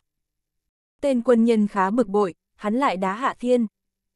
Nhưng lúc này hắn cũng không đá trúng người Hạ Thiên, vì Hạ Thiên đã nhảy xuống xe tải. Hạ Thiên nhảy xuống xe, hắn quét mắt bốn phía, sau đó lầm bầm một câu. Đây đúng là một địa phương giết người rất tốt. chương 353, giết chóc. Hạ Thiên không quen thuộc thành phố Giang Hải, tất nhiên hắn cũng không biết vị trí hiện tại của mình, nhưng hắn vẫn có thể nhìn qua bóng tối và thấy nơi đây rất vắng vẻ, trong phạm vi vài ngàn mét không có bất kỳ ngôi nhà nào. Hai bên là những cánh đồng rộng, còn có một vài ngọn núi nhỏ, rõ ràng đã rời khỏi nội thành thành phố Giang Hải. Loại địa phương này rất thích hợp để giết người, tất nhiên cũng hợp ý với Hạ Thiên còn có cả Tiếu Trấn Nam. Đám quân nhân trên xe đã nhảy xuống, mỗi người vẫn chĩa súng vào người Hạ Thiên, Tiếu Trấn Nam thì bước đến gần Hạ Thiên. Tất nhiên, lão không nằm trong phạm vi xả kích của bộ đội. Hạ Thiên, có biết hành vi của mình phạm vào tội gì không? Tiếu Trấn Nam dùng ánh mắt sắc bén nhìn chằm chằm vào Hạ Thiên, dù bây giờ là buổi tối nhưng Hạ Thiên vẫn có thể thấy cặp mắt của đối phương rất sáng, tất nhiên điều này có lẽ cũng liên quan đến nhãn lực của hắn. Tất nhiên Tiếu Trấn Nam cũng không cần Hạ Thiên trả lời vấn đề này, vì lão tiếp tục nói. Mày lạm sát kẻ vô tội, là loại cực kỳ hung ác, đúng là chết còn chưa hết tội. Hạ Thiên lúc này mất kiên nhẫn cắt đứt lời Tiếu Trấn Nam. Này ông lão, ông nói nhảm làm gì vậy? Chủ nhân của ông cần giết tôi, ông cũng sắp giết, lấy cớ làm gì? Tiếu Trấn Nam có chút sướng sờ, sau đó tức giận nói. Mày nói gì? Tôi nói gì ông không nghe rõ sao? Hạ Thiên dùng ánh mắt khinh bỉ nhìn Tiếu Trấn Nam. Ông không phải là một con chó của Lý gia sao? Chủ nhân vừa ra lệnh cho ông ra tay giết chết tôi, sau đó ép cho tôi một tội danh cướp súng chạy trốn, tôi nói không sai chứ. Mày! Vẻ mặt Tiếu Trấn Nam cực kỳ khiếp đảm, trong lòng rất sợ hãi. Đúng vậy, sau khi bắt được Hạ Thiên thì lão lập tức báo cáo về thủ đô, ngay sau đó nhận được lệnh trực tiếp giải quyết Hạ Thiên. Nhưng lão dù nghĩ thế nào cũng không hiểu, vì sao Hạ Thiên biết được chuyện này. Tiêu Chấn Nam ngoài khiếp sợ cũng cực kỳ phẫn nộ, lão đường đường là trung đoàn trưởng phân khu tỉnh Bình Hải, trong miệng Hạ Thiên thì lão chỉ là một con chó, lão có thể không nổi giận sao. Chức vị của Tiếu Trấn Nam là trung đoàn trưởng, tất nhiên địa vị cũng không phải bình thường, phóng mắt toàn bộ Giang Hải, thậm chí là tỉnh Bình Hải, dù kẻ nào gặp mặt cũng phải nể mặt vài phần. Dù rời khỏi tỉnh Bình Hải thì Tiếu Trấn Nam cũng là một nhân vật đường hoàng, dù là lão già lý gia, khi nói chuyện với lão cũng rất ôn hòa, lão đã bao giờ bị người ta sỉ nhục như Hạ Thiên. Dù địa vị bây giờ của Tiếu Trấn Nam không thoát khỏi sự nâng đỡ của Lý Gia, mà Lý Gia ở thủ đô giao nhiệm vụ cho lão, tất nhiên lão phải chấp hành mà không hề nói điều gì. Nhưng lão không cho rằng mình là một con chó của Lý Gia, càng không thể tha thứ người khác nói lão là con chó của Lý Gia. Vì vậy thời điểm này, dù không nhận lệnh của Lý Gia thì lão cũng sẽ không bỏ qua cho Hạ Thiên, thằng khốn nào dám sỉ nhục lão, đêm nay hắn phải chết. Hạ Thiên lại tiếp tục nói. Này, ông lão, thật ra làm chủ nhân sẽ khôn hơn chó, chủ nhân của ông biết ông sẽ chết dưới tay tôi, rõ ràng làm việc không công.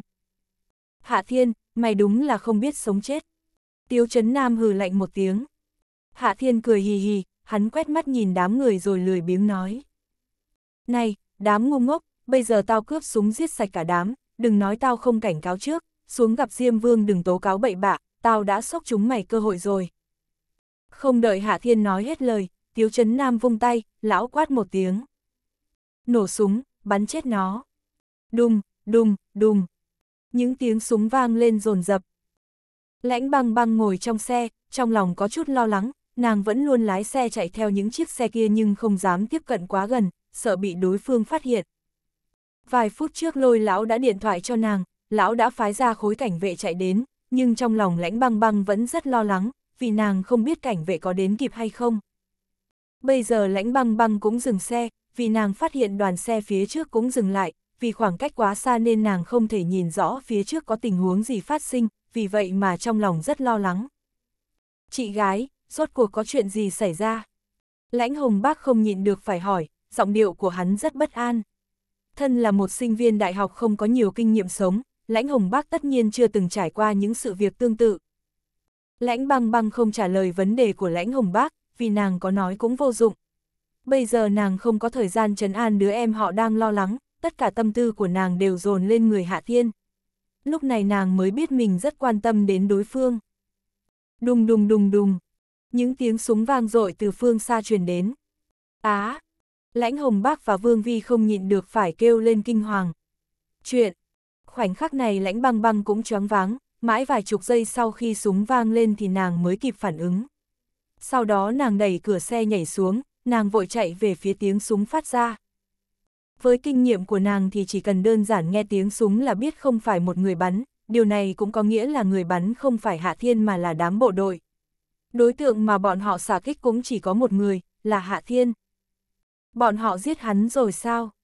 Trong đầu lãnh băng băng là ý nghĩ này, trong lòng cũng tràn đầy bi thương và phẫn nộ.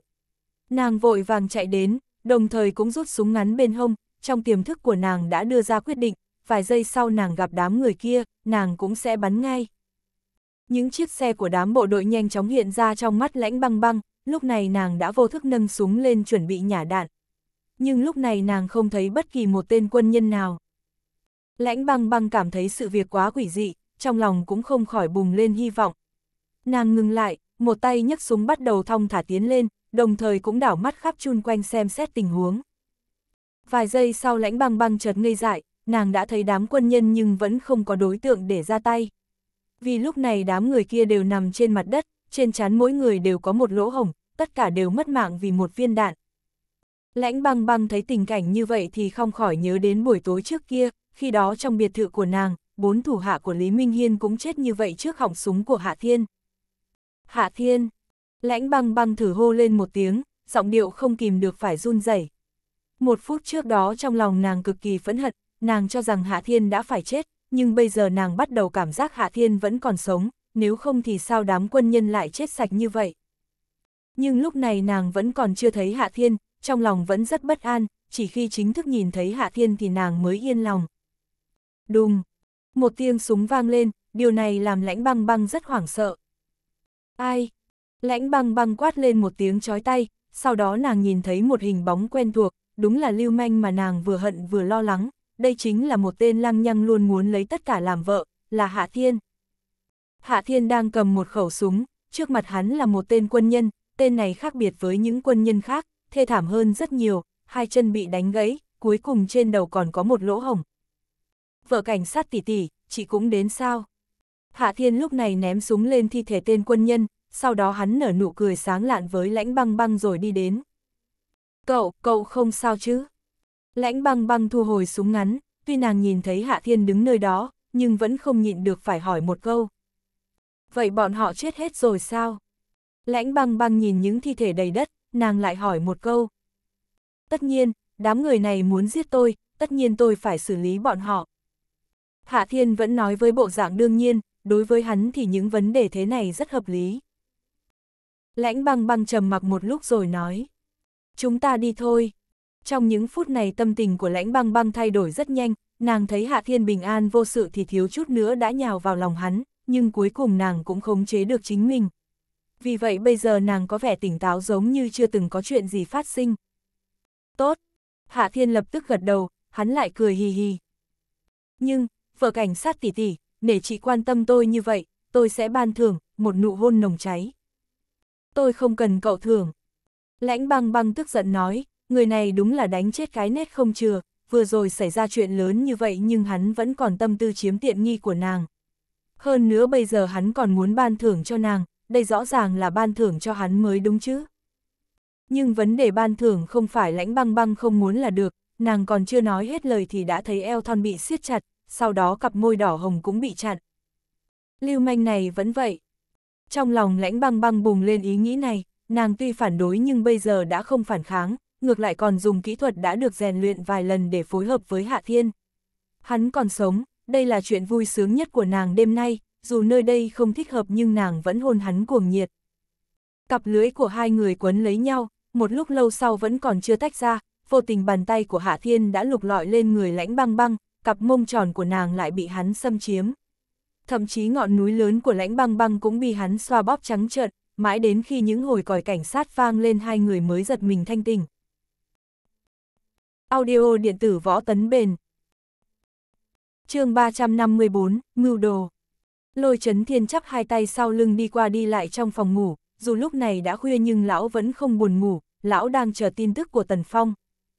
Lôi chấn thiên có ba đứa cháu nội, trong đó lão thích nhất lôi quân, trong mắt lão thì lôi quân là người có năng lực và cực kỳ có tương lai. Dù trước đó không lâu lão biết lôi quân làm chút chuyện sai, nhưng lão cũng rất kỳ vọng vào lôi quân, vì lôi quân giữ lại được tính mạng mà lão cực kỳ vui sướng. Cũng chính vì như vậy mà lôi chấn thiên thật lòng cảm kích lãnh băng băng, dưới tình huống trước đó lão cho rằng lôi quân sẽ phải chết, nhưng không ngờ lãnh băng băng lại cứu hắn một mạng. Chưa nói đến vấn đề lãnh băng băng cứu lôi quân, lôi chấn thiên cũng rất thưởng thức lãnh băng băng, đặc biệt là trong khoảng thời gian sau đó thì lãnh băng băng cũng không yêu cầu lôi ra giúp làm việc gì, điều này càng làm lôi chấn thiên tán thưởng phẩm hạnh của lãnh băng băng. Tổng hợp lại những nguyên nhân như vậy mà trước đó lãnh băng băng điện thoại cho lôi chấn thiên yêu cầu hỗ trợ hạ thiên, lôi chấn thiên đã đồng ý không chút do dự. Sau đó lão phải tất cả khối cảnh vệ ra ngoài, chuẩn bị cướp Hạ Thiên từ trong tay quân đội. Chuyện dù lôi chấn thiên cảm thấy với thực lực của khối cảnh vệ thì muốn cướp một người từ trong tay đám bộ đội kia là rất dễ dàng, nhưng dù sao đây cũng là lần đầu tiên lãnh băng băng yêu cầu lão làm việc, vì vậy lão rất xem trọng. Cũng vì thế mà trước khi sự việc chấm dứt lão rất quan tâm, căn bản khó thể ngủ. Chuông điện thoại cuối cùng cũng vang lên, lôi chấn thiên tranh thủ thời gian nhận điện thoại, mà giọng nói của Tần Phong cũng vang lên. Thủ trưởng, chúng ta đã đến muộn. Muộn sao? Vẻ mặt lôi chấn thiên chợt biến đổi. Có chuyện gì xảy ra? Chẳng lẽ Tiếu Chấn Nam đã áp dụng hình phạt riêng?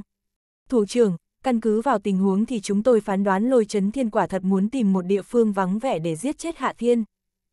Tần Phong trả lời. Buồn cười. Lôi chấn thiên giận tím mặt. Những người này còn chút quan niệm pháp chế hay không? Dù Hạ Thiên tội ác tày trời cũng không đến lượt bọn họ ra tay. Lôi chấn thiên dừng lại một chút rồi nổi giận đùng đùng.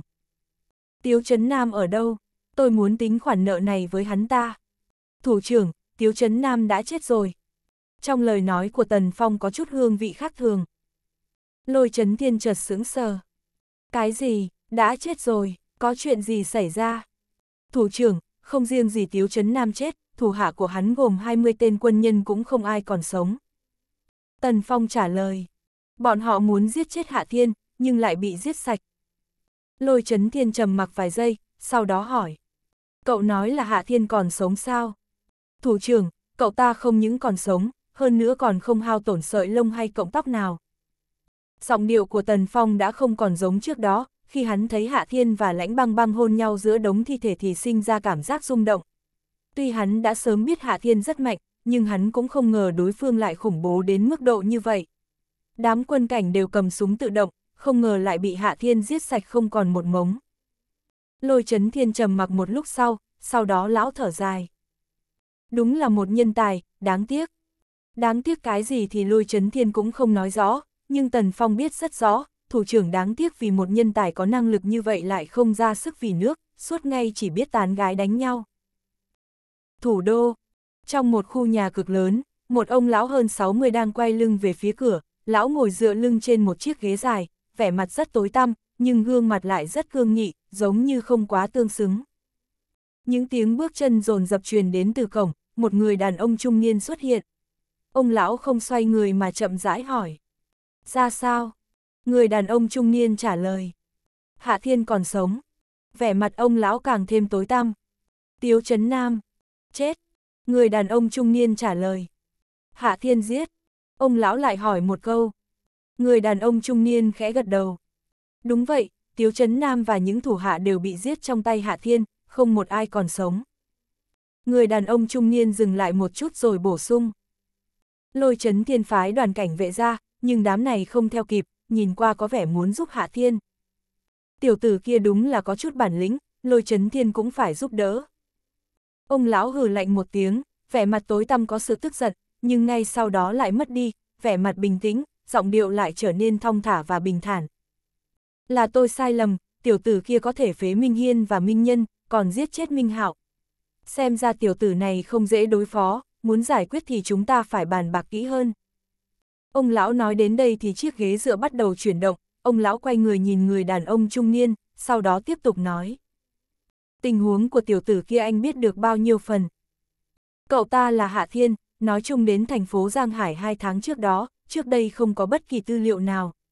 Khoảng thời gian hai tháng hắn đến Giang Hải thì đụng chạm vào tất cả các thế lực, nhưng dù là quân giới, chính giới, thương giới hay cảnh sát đều có người của hắn quân giới có lôi chấn thiên, chính giới có kiều chấn quốc kiều gia, thương giới thì người này có quan hệ mật thiết với ba đại gia tộc ở Giang Hải, bên phía cảnh sát, có cục trưởng Hoàng Hải đào cục công an thành phố Giang Hải thường làm theo lệnh của Hạ Thiên. Hơn nữa hắn còn có ơn cứu mạng với cục trưởng hào đồ cục công an tỉnh Bình Hải, ngoài ra còn có mười mấy cảnh sát tinh anh được Hạ Thiên cứu mạng, thậm chí hắc đạo toàn thành phố Giang Hải cũng nằm trong tay người này. Tiểu tử này có thể nói là một tay che trời ở thành phố Giang Hải, nói cách khác nếu chúng ta ra tay với hắn ở thành phố Giang Hải thì khó khăn rất lớn. Người đàn ông trung niên nói một hơi khá lâu, cuối cùng hắn đưa ra kết luận như vậy. Vẻ mặt ông lão vẫn rất bình tĩnh, lão chỉ nhàn nhạt hỏi một câu. Còn gì nữa không? Phương diện mạnh nhất của người này chính là võ công và y thuật, võ công rất cao, đến bây giờ chưa từng thua ai, còn y thuật thì không thể tưởng tượng được. Hắn chỉ dựa vào hai loại năng lực khủng bố này mà tạo nên một thế lực khủng bố trong một thời gian ngắn. Người đàn ông trung niên tiếp tục nói chuyện. Mặt khác, tuy hắn không có bất kỳ bối cảnh nào, nhưng có tin nói hắn là đồ đệ duy nhất của ám hoàng. Ám hoàng sao? Vẻ mặt ông lão chợt biến đổi, lão cắt đứt lời của người đàn ông trung niên. Ám hoàng đã mất tích hơn 20 năm sao? Đúng vậy, chính là vị ám hoàng trong truyền thuyết kia, cũng vì vậy mà bây giờ thiên tổ rất bảo vệ hạ thiên. Tôi vừa nhận được tin tức thiên tổ đã điều động tất cả nhân viên ở thành phố Giang Hải để âm thầm bảo vệ tất cả những người có liên quan với hạ thiên, điều này càng gây thêm khó khăn cho chúng ta. Vẻ mặt người đàn ông trung niên có chút ngưng trọng. Ám Hoàng năm xưa có ân lớn với Triệu Minh Phong của thiên tổ, Triệu Minh Phong lại xem Ám Hoàng là sư phụ. Ám Hoàng đã mất tích hơn 20 năm, Triệu Minh Phong chưa từng ngừng quá trình tìm kiếm tung tích Ám Hoàng. Bây giờ Triệu Minh Phong biết được Hạ Thiên là đệ tử của Ám Hoàng, tất nhiên hắn sẽ phải bảo vệ. Ông lão thản nhiên nói, rõ ràng cũng không có gì kỳ quái. Chúng ta nên làm thế nào? Người đàn ông trung niên có chút trần trừ. Nếu không ra tay được ở thành phố Giang Hải, như vậy chúng ta nghĩ biện pháp kéo hắn về thủ đô. Ông lão chậm rãi nói. Dù hắn có bao nhiêu thế lực ở Giang Hải thì cũng khó bước đi ở thủ đô. Người đàn ông trung niên lại có chút trần trừ, Nhưng thủ đô có thiên tổ. Ông lão cắt ngang lời người đàn ông trung niên. Vì vậy chúng ta đưa hắn đến thủ đô thì trước hết phải giải quyết hết vấn đề với thiên tổ. Người đàn ông trung niên không khỏi kinh hãi. Giải quyết thiên tổ sao? Điều này. Người đàn ông trung niên giật mình, tuy lý ra ở thủ đô có thế lực khổng lồ nhưng thiên tổ lại có địa vị đặc biệt, muốn giải quyết thiên tổ cũng chẳng phải dễ. Ông lão nhìn người đàn ông trung niên, sau đó lão thản nhiên nói. Tôi nói giải quyết vấn đề của thiên tổ, không phải giải quyết thiên tổ. Ý của chú là, người đàn ông trung niên có chút mê hoặc, giữa hai vấn đề này có gì khác nhau sao? Năm xưa ám hoàng chỉ cần vung tay nhấc chân đã có thể làm người ta tan thành mây khói, hắn nói một câu thì cũng có thể làm thủ đô rung động. Nhưng đó dù sao cũng là chuyện năm xưa, hắn đã mất tích hơn 20 năm, trên đời này cũng không còn ai nhớ, mà những kẻ tôn kính hắn như Triệu Minh Phong thì càng đếm trên đầu ngón tay. Ông lão chậm rãi nói, nếu bây giờ người đứng đầu thiên tổ không phải là Triệu Minh Phong, như vậy dù là ám hoàng hay hạ thiên thì chẳng qua cũng chỉ là một cái tên bình thường với thiên tổ mà thôi. Chuyện, ý của chú là, muốn thiên tổ thay người. Ánh mắt người đàn ông trung niên chợt sáng rực lên, ngay sau đó hắn đã hiểu ra, nhưng ngay sau đó lại có chút lo lắng. Nhưng đổi Triệu Minh Phong cũng không dễ dàng gì, chưa nói đến năng lực của hắn, chỉ cần hắn là họ Triệu, như vậy Triệu gia sẽ không đứng bảng quan. Ông lão cười nhạt một tiếng. Triệu gia quả thật sẽ không bàng quan, nhưng nếu người đứng đầu thiên tổ này cũng là họ Triệu, như vậy sẽ không có vấn đề bên phía Triệu gia. Chú đúng là cao minh. Người đàn ông trung niên cuối cùng cũng hiểu rõ tất cả. Ông lão không nói thêm lời nào, vẻ mặt có chút tối tăm, đứa cháu lão thích nhất đã chết đi không còn sống lại. Biệt thự của Kiều Tiểu Kiều ở Kiều Gia, tất cả mọi người đang ở bên trong chờ đợi trong lo lắng. Kiều Tiểu Kiều rất chấn định, Tôn Hinh Hinh thì bối rối, nàng đứng ngồi không yên trong phòng khách, khi thời gian dần trôi qua, gương mặt xinh đẹp của nàng càng thêm tái nhợt. Tôi ra xem. Tôn Hinh Hinh cuối cùng cũng không nhịn được nữa, nàng nói một câu rồi chạy ra ngoài. Tuy nàng không biết đi đâu, nhưng nàng không thể tiếp tục ngồi lại chờ đợi. Chị Hinh, Kiều Tiểu Kiều chợt hô lên kinh hoàng, nàng muốn khuyên bảo. Nhưng đúng lúc này ngoài cửa đã vang lên một âm thanh. Chị Hinh, chị đi đâu vào lúc này? chương 355, nhìn một chút thì ngực cũng không nhỏ đi đâu. Nghe được âm thanh này thì Tôn Hinh Hinh đầu tiên là ngẩn ngơ, sau đó thì vui mừng như điên, nàng không khỏi phóng về phía phát ra âm thanh, giọng nói cũng có chút nghẹn ngào. Hạ Thiên, cậu, cậu đã về rồi. Người xuất hiện đúng là Hạ Thiên, hắn ôm lấy thân thể thơm ngào ngạt của Tôn Hinh Hinh, giọng điệu có chút kỳ quái. Chị Hinh, sao lại khóc, ai ức hiếp chị sao? Mau nói cho tôi biết, tôi sẽ đi đánh hắn. Tôn Hinh Hinh chợt yên lặng, tiểu sắc lang này không biết thật hay giả vờ vậy nhỉ. Chồng, tiểu bại hoại, Hạ Thiên. Khoảnh khắc này có vài âm thanh vang lên, Kiều Tiểu Kiều, Liễu Mộng, Liễu Vân Mạn, còn có cả đám người Kiều Đông Hải phóng đến đón. Rõ ràng Hạ Thiên xuất hiện làm cho người nào cũng vui sướng, ai cũng yên lòng. Đã trễ thế này mà mọi người vẫn còn chưa ngủ sao? Hạ Thiên dùng ánh mắt kỳ quái nhìn mọi người. Sau tôn hình hình thì đám người không còn gì để nói, vấn đề của Hạ Thiên đúng là làm cho mọi người không biết phải trả lời thế nào, bây giờ đúng là đã muộn, nhưng xảy ra chuyện lớn, ai ngủ được. Chồng, đám quân nhân kia không làm gì cậu được sao? Kiều Tiểu Kiều là người kịp phản ứng đầu tiên, nàng mở miệng hỏi vấn đề mà mọi người đang quan tâm. À, bọn họ muốn giết tôi, nhưng tất cả đều bị tôi xử lý sạch. Hạ Thiên hời hợt nói, sau đó hắn ngáp một cái. Mệt rồi, tôi đi ngủ trước. Hạ Thiên nói xong thì ôm Tôn Hinh Hinh lên lầu, sau đó đi đến phòng ngủ của mình. Tôi cũng đi ngủ. Liễu Mộng lầm bầm một câu rồi đi lên lầu. Đối với nàng thì Hạ Thiên trở về là tốt, cụ thể phát sinh chuyện gì thì nàng không quan tâm.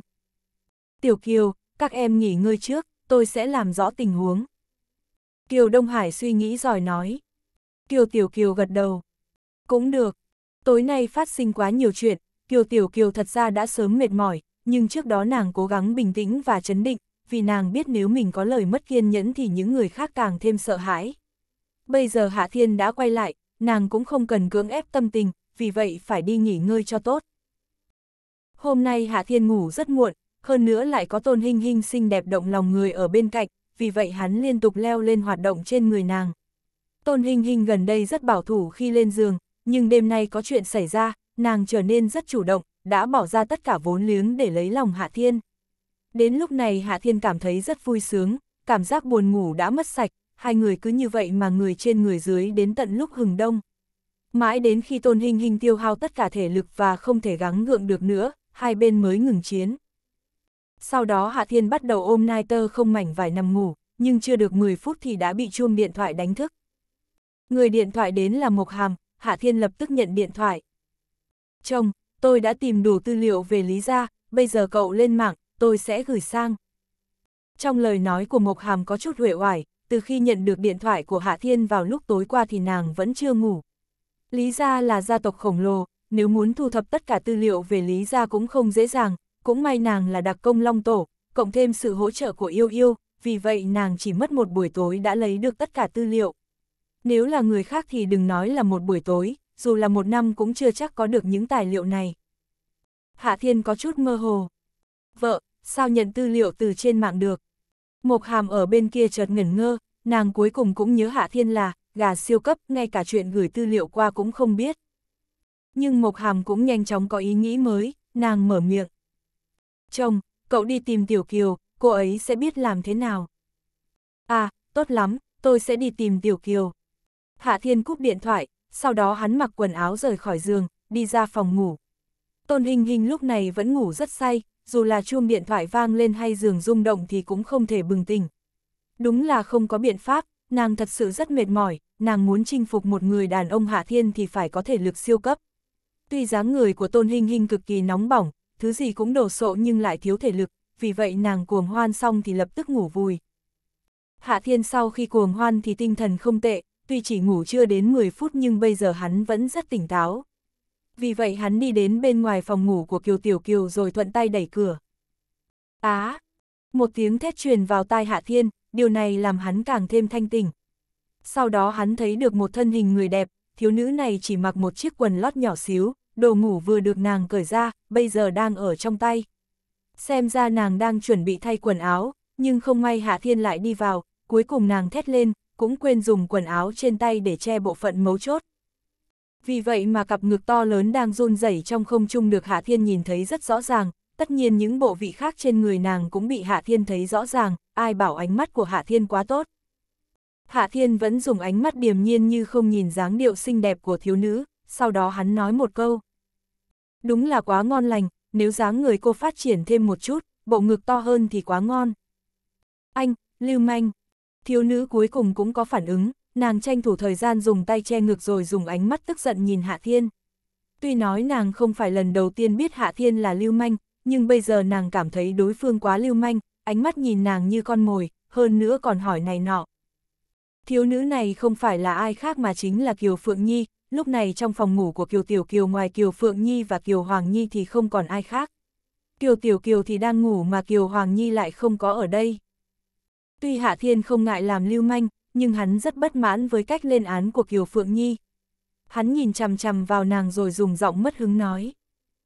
Sao nói tôi là lưu manh, rõ ràng là cô đang đùa giỡn lưu manh. Kiều Phượng Nhi lập tức bị chọc tức. Anh, anh nói gì? Anh không biết lý lẽ vậy sao? Tôi đã nói lý lẽ rồi. Hạ Thiên nghiêm trang nói. Đây là phòng vợ tôi, cũng chẳng khác nào phòng tôi, bây giờ tôi đang ở phòng của mình, cô lại cởi quần áo trong phòng tôi, đây không phải là đùa giỡn lưu manh sao? Anh, anh, anh. Gương mặt Kiều Phượng Nhi vì tức giận mà đỏ bừng bừng, lưu manh này quá vô sỉ, những lời nói như vậy mà cũng nói ra được. Đừng nóng vội. Hạ Thiên ra vẻ rộng lượng. Tuy cô đang đùa giỡn với lưu manh, nhưng tôi rất rộng lượng, cũng không so đo với cô. Kiều Phượng Nhi chợt sinh ra xúc động muốn bóp chết Hạ Thiên, dù hắn đã thật sự cứu nàng một mạng nhưng vẫn muốn bóp chết hắn một trăm lần, vì tên này rất đáng giận. Anh còn chưa đi ra ngoài sao? Một lúc lâu sau Kiều Phượng Nhi mới tỉnh táo lại, nàng nhìn Hạ Thiên rồi nghiến răng nghiến lợi nói. Hạ Thiên dùng ánh mắt kỳ quái nhìn Kiều Phượng Nhi. Sao phải ra ngoài? Tôi phải thay quần áo. Kiều Phượng Nhi căm giận nói, trong lòng đã sớm chửi Hạ Thiên vô số lần, tên lưu manh chết tiệt, hắn ngu thật hay giả vờ vậy. Hạ Thiên dùng ánh mắt kỳ quái nhìn Kiều Phượng Nhi. Cô cứ thay quần áo tự nhiên, tôi việc gì phải ra ngoài. Kiều Phượng Nhi chỉ thiếu điều không giống lên. Anh đứng đây nhìn sao tôi thay quần áo được. Có vấn đề gì sao? Hạ Thiên trừng mắt.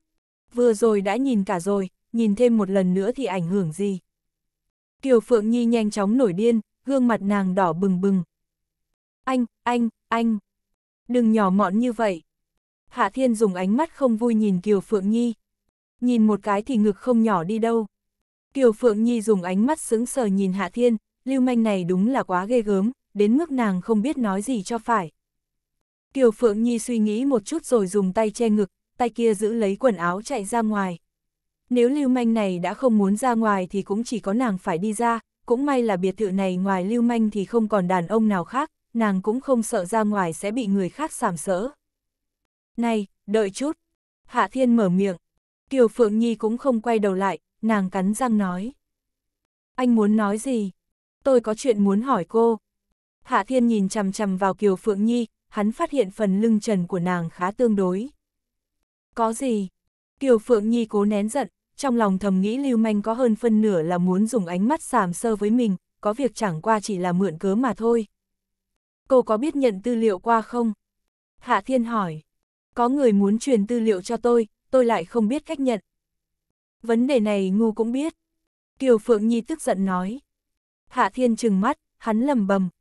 Thì ra chỉ có những người ngu mới biết, trách không được tôi không biết, vì tôi không phải người ngu ngốc.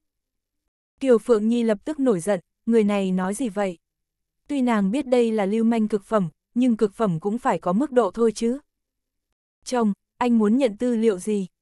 Đúng lúc này âm thanh của Kiều Tiểu Kiều vang lên, thì ra nàng đã bị đánh thức. Vợ, em tỉnh rồi sao? Hạ Thiên lập tức vui sướng, sau đó hắn phất tay với Kiều Phượng Nhi. Này, cô đi được rồi, không còn chuyện của cô. Kiều Phượng Nhi nghe nói như vậy thì cảm thấy khó hiểu, tên lưu manh chết tiệt này, có mới nới cũ cũng đừng nhanh như vậy chứ. Tuy nàng đã vốn muốn chạy đi, nhưng khi nghe những lời này thì lại không thoải mái. Tất nhiên không thoải mái là không thoải mái nhưng Kiều Phượng Nhi vẫn nhanh chóng bỏ đi, mà khoảnh khắc trước khi rời khỏi cửa thì nàng đã phát hiện Hạ Thiên ôm Kiều Tiểu Kiều mặc áo ngủ mỏng tanh rời khỏi giường. Trong lòng nàng không khỏi bùng lên một ý nghĩ, sắc lang này không phải muốn làm chuyện xấu gì với Kiều Tiểu Thư đấy chứ.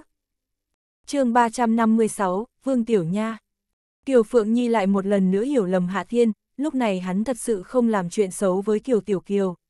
Tất nhiên, dù hắn có muốn làm gì đó với Kiều Tiểu Kiều thì cũng không xem đó là chuyện xấu, phải là chuyện tốt đáng làm. Hạ Thiên điện thoại cho Mộc Hàm, sau đó đưa điện thoại cho Kiều Tiểu Kiều, để nàng và Mộc Hàm liên lạc với nhau. Mộc Hàm nhanh chóng chuyển dữ liệu sang, nhưng dữ liệu khá nặng, cần mất một khoảng thời gian. Trong khoảng thời gian chờ đợi rất nhàm chán, Hạ Thiên đã một đêm không ngủ bắt đầu ngáp ngắn ngáp dài. Chồng, anh cứ đi ngủ trước, đợi đến khi nhận xong tư liệu thì em sẽ gọi anh. Khi thấy bộ dạng của Hạ Thiên thì Kiều Tiểu Kiều nhanh chóng đề nghị. Được rồi, vợ, vậy em cứ chờ đi. Hạ Thiên ngáp một cái. Đợi đến khi nhận xong, cũng không cần gọi anh, em cứ đưa cho đại ca của mình, để anh ấy xem xét. Nếu phát hiện trong đó có cái tên nào liên quan đến thành phố Giang Hải thì lập tức nói cho anh, anh sẽ đi xử lý. À, em biết rồi. Kiều Tiểu Kiều gật đầu nói. Hạ Thiên đi ra phòng ngủ Kiều Tiểu Kiều, đúng lúc này Kiều Phượng Nhi đã ăn mặc chỉnh tề đi đến. Hạ Thiên nhìn chằm chằm vào bộ ngực của nàng rồi nói thầm một câu. Sao ngực em lại nhỏ đi, sao vừa rồi, khủng thế. Kiều Phượng Nhi đáng thương vừa mới hế tức, bây giờ nghe vậy lại nổi giận suýt ngất. Hạ Thiên là người khởi sướng thì vẫn làm ra vẻ như chưa có gì phát sinh, hắn điểm nhiên đến phòng ngủ, sau đó lên giường nằm. Nhưng lần này nằm chưa được 3 phút thì đã bị chuông điện thoại đánh thức. Ai vậy? Hạ Thiên cầm lấy điện thoại, hắn thấy đó là một dãy số lạ, vì vậy tức giận nói một câu. Người của Lý Gia đã rút tất cả khỏi Giang Hải, tạm thời không còn ai trả thù cậu, cậu có thể yên tâm. Đầu dây bên kia vang lên một giọng nói trong trẻo nhưng lạnh lùng, đối phương nói xong thì cúp điện thoại. Hạ Thiên giật mình, đây là giọng điệu của Mỹ Nhi. Nể mặt nàng quan tâm mình, lần sau thấy mặt nhất định phải nghiên cứu thân thể. Hạ Thiên lầm bầm nói, sau đó hắn đổ sập xuống giường ngáy o o. Lần này cũng không còn ai điện thoại đến làm phiền, Hạ Thiên ngủ một giấc đến 3 giờ chiều mới tỉnh táo trở lại. Tôn Hình Hình đã thức dậy rời khỏi giường, Hạ Thiên nằm một mình trên giường cũng không còn ý nghĩa, vì vậy hắn cũng nhanh chóng rời khỏi giường, đi ra ngoài. Tôn Hình Hình đang ngồi trên ghế salon trong phòng khách, Liễu Vân Mạn cũng ngồi bên cạnh.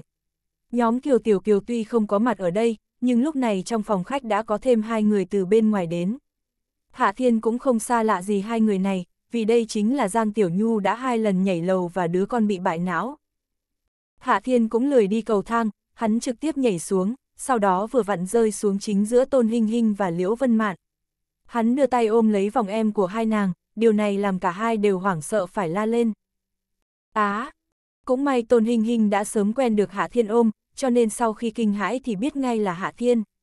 Vì vậy nàng chừng mắt nhìn hắn nói. Cậu không thể dọa người như vậy được không? Hạ Thiên, cậu thức dậy rồi à? Liễu Vân Mạn cũng nhanh chóng có phản ứng. Liễu Vân Mạn nhìn Giang Tiểu Nhu rồi khẽ nói. Hạ Thiên, Giang Tiểu Nhu vừa điện thoại cho tôi, chị ấy muốn nhờ cậu chữa bệnh cho con. Tôi nhớ lần trước cậu đã đồng ý, vì vậy mới nói chị ấy đưa con tới, hôm nay cậu rảnh phải không? À, hôm nay có thời gian, nhưng bây giờ đang đói, trước tiên ăn cái gì đã rồi làm sao? Hạ Thiên cũng không quan tâm đến vấn đề này, gần đây hắn rất giữ lời, hắn đã nói sẽ chữa bệnh cho con của Giang Tiểu Nhu, tất nhiên sẽ không đổi ý. Trong nhà bếp có thức ăn, tôi đi lấy cho cậu. Tôn Hinh Hinh đứng dậy đi về phòng bếp, đồ ăn đều đã chuẩn bị xong, chỉ cần hâm nóng lên là được. Hạ Thiên nói sẽ giữ lời, sau khi ăn uống no say thì lập tức chữa trị cho Trương Hạo bị bại não.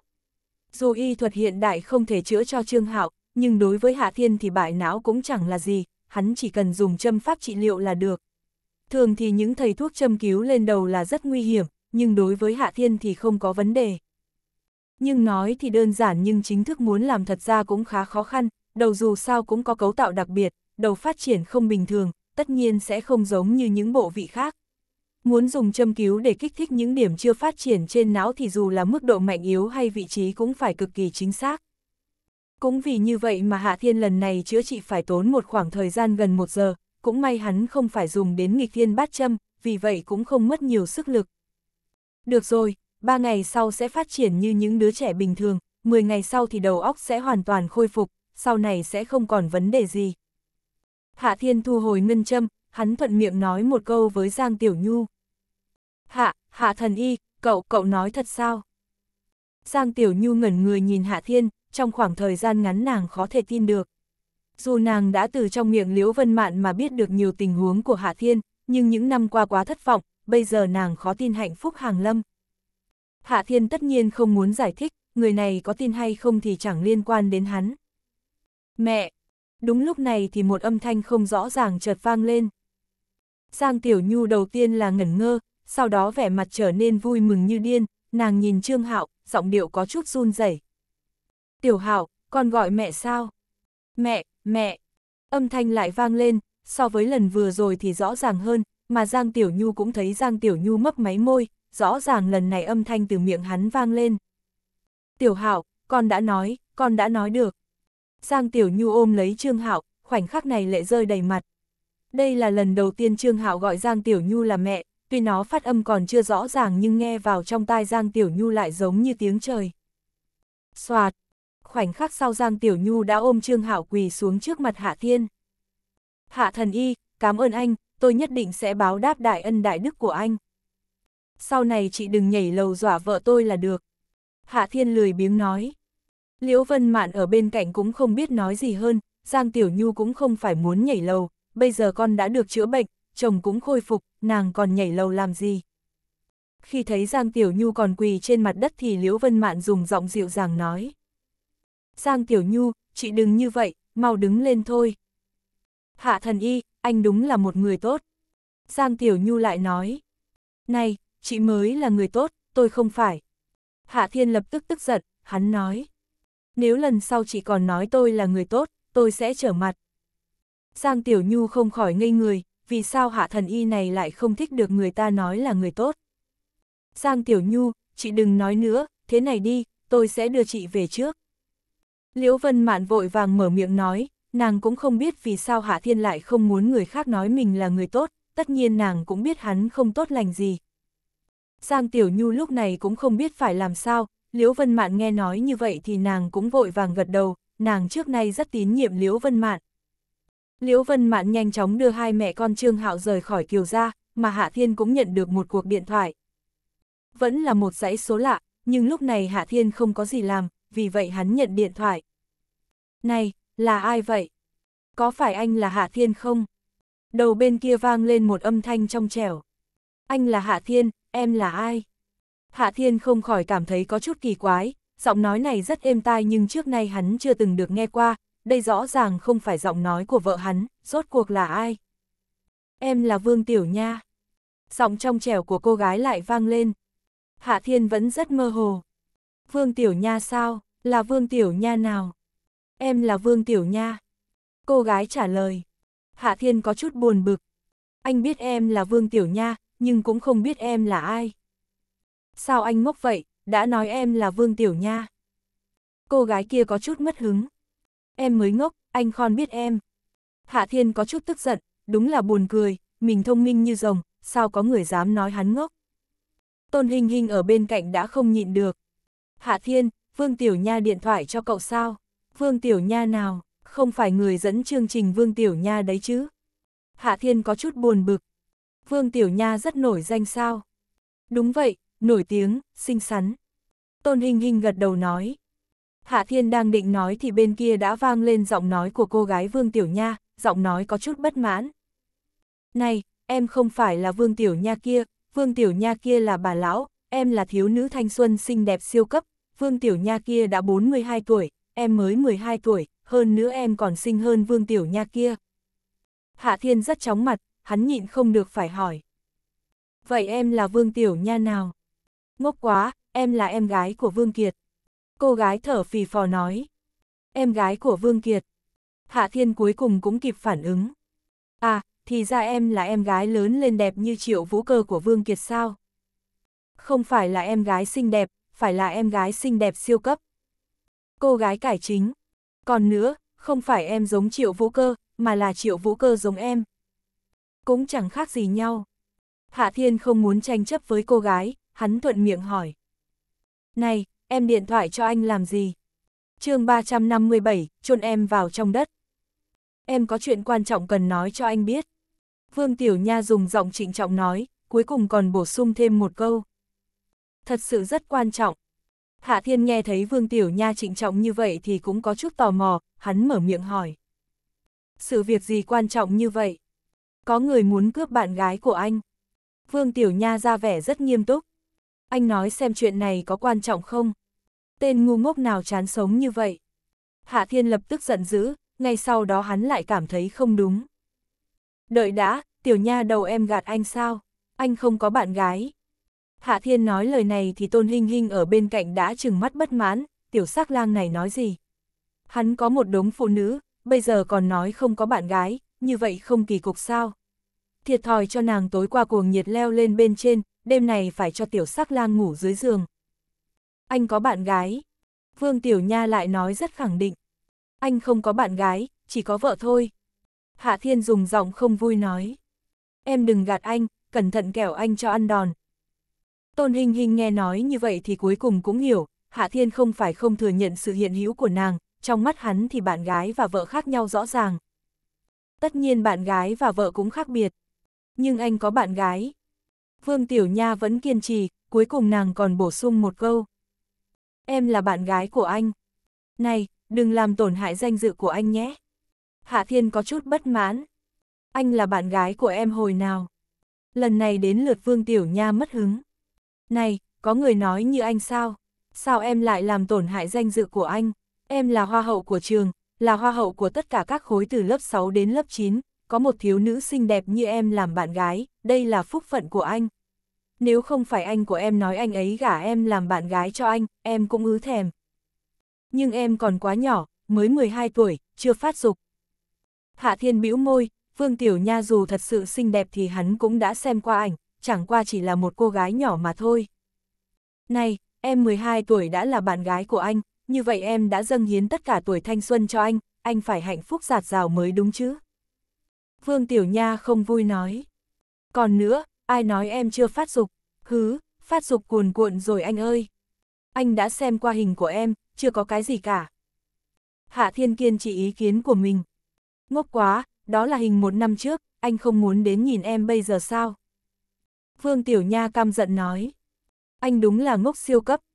Một khoảng thời gian ngắn mà Vương Tiểu Nha đã nói rất nhiều lần chữ ngốc, có lẽ nha đầu thích xài chữ này. Em mới là ngốc siêu cấp. Hạ Thiên rất mất hứng. Này, em ở đâu?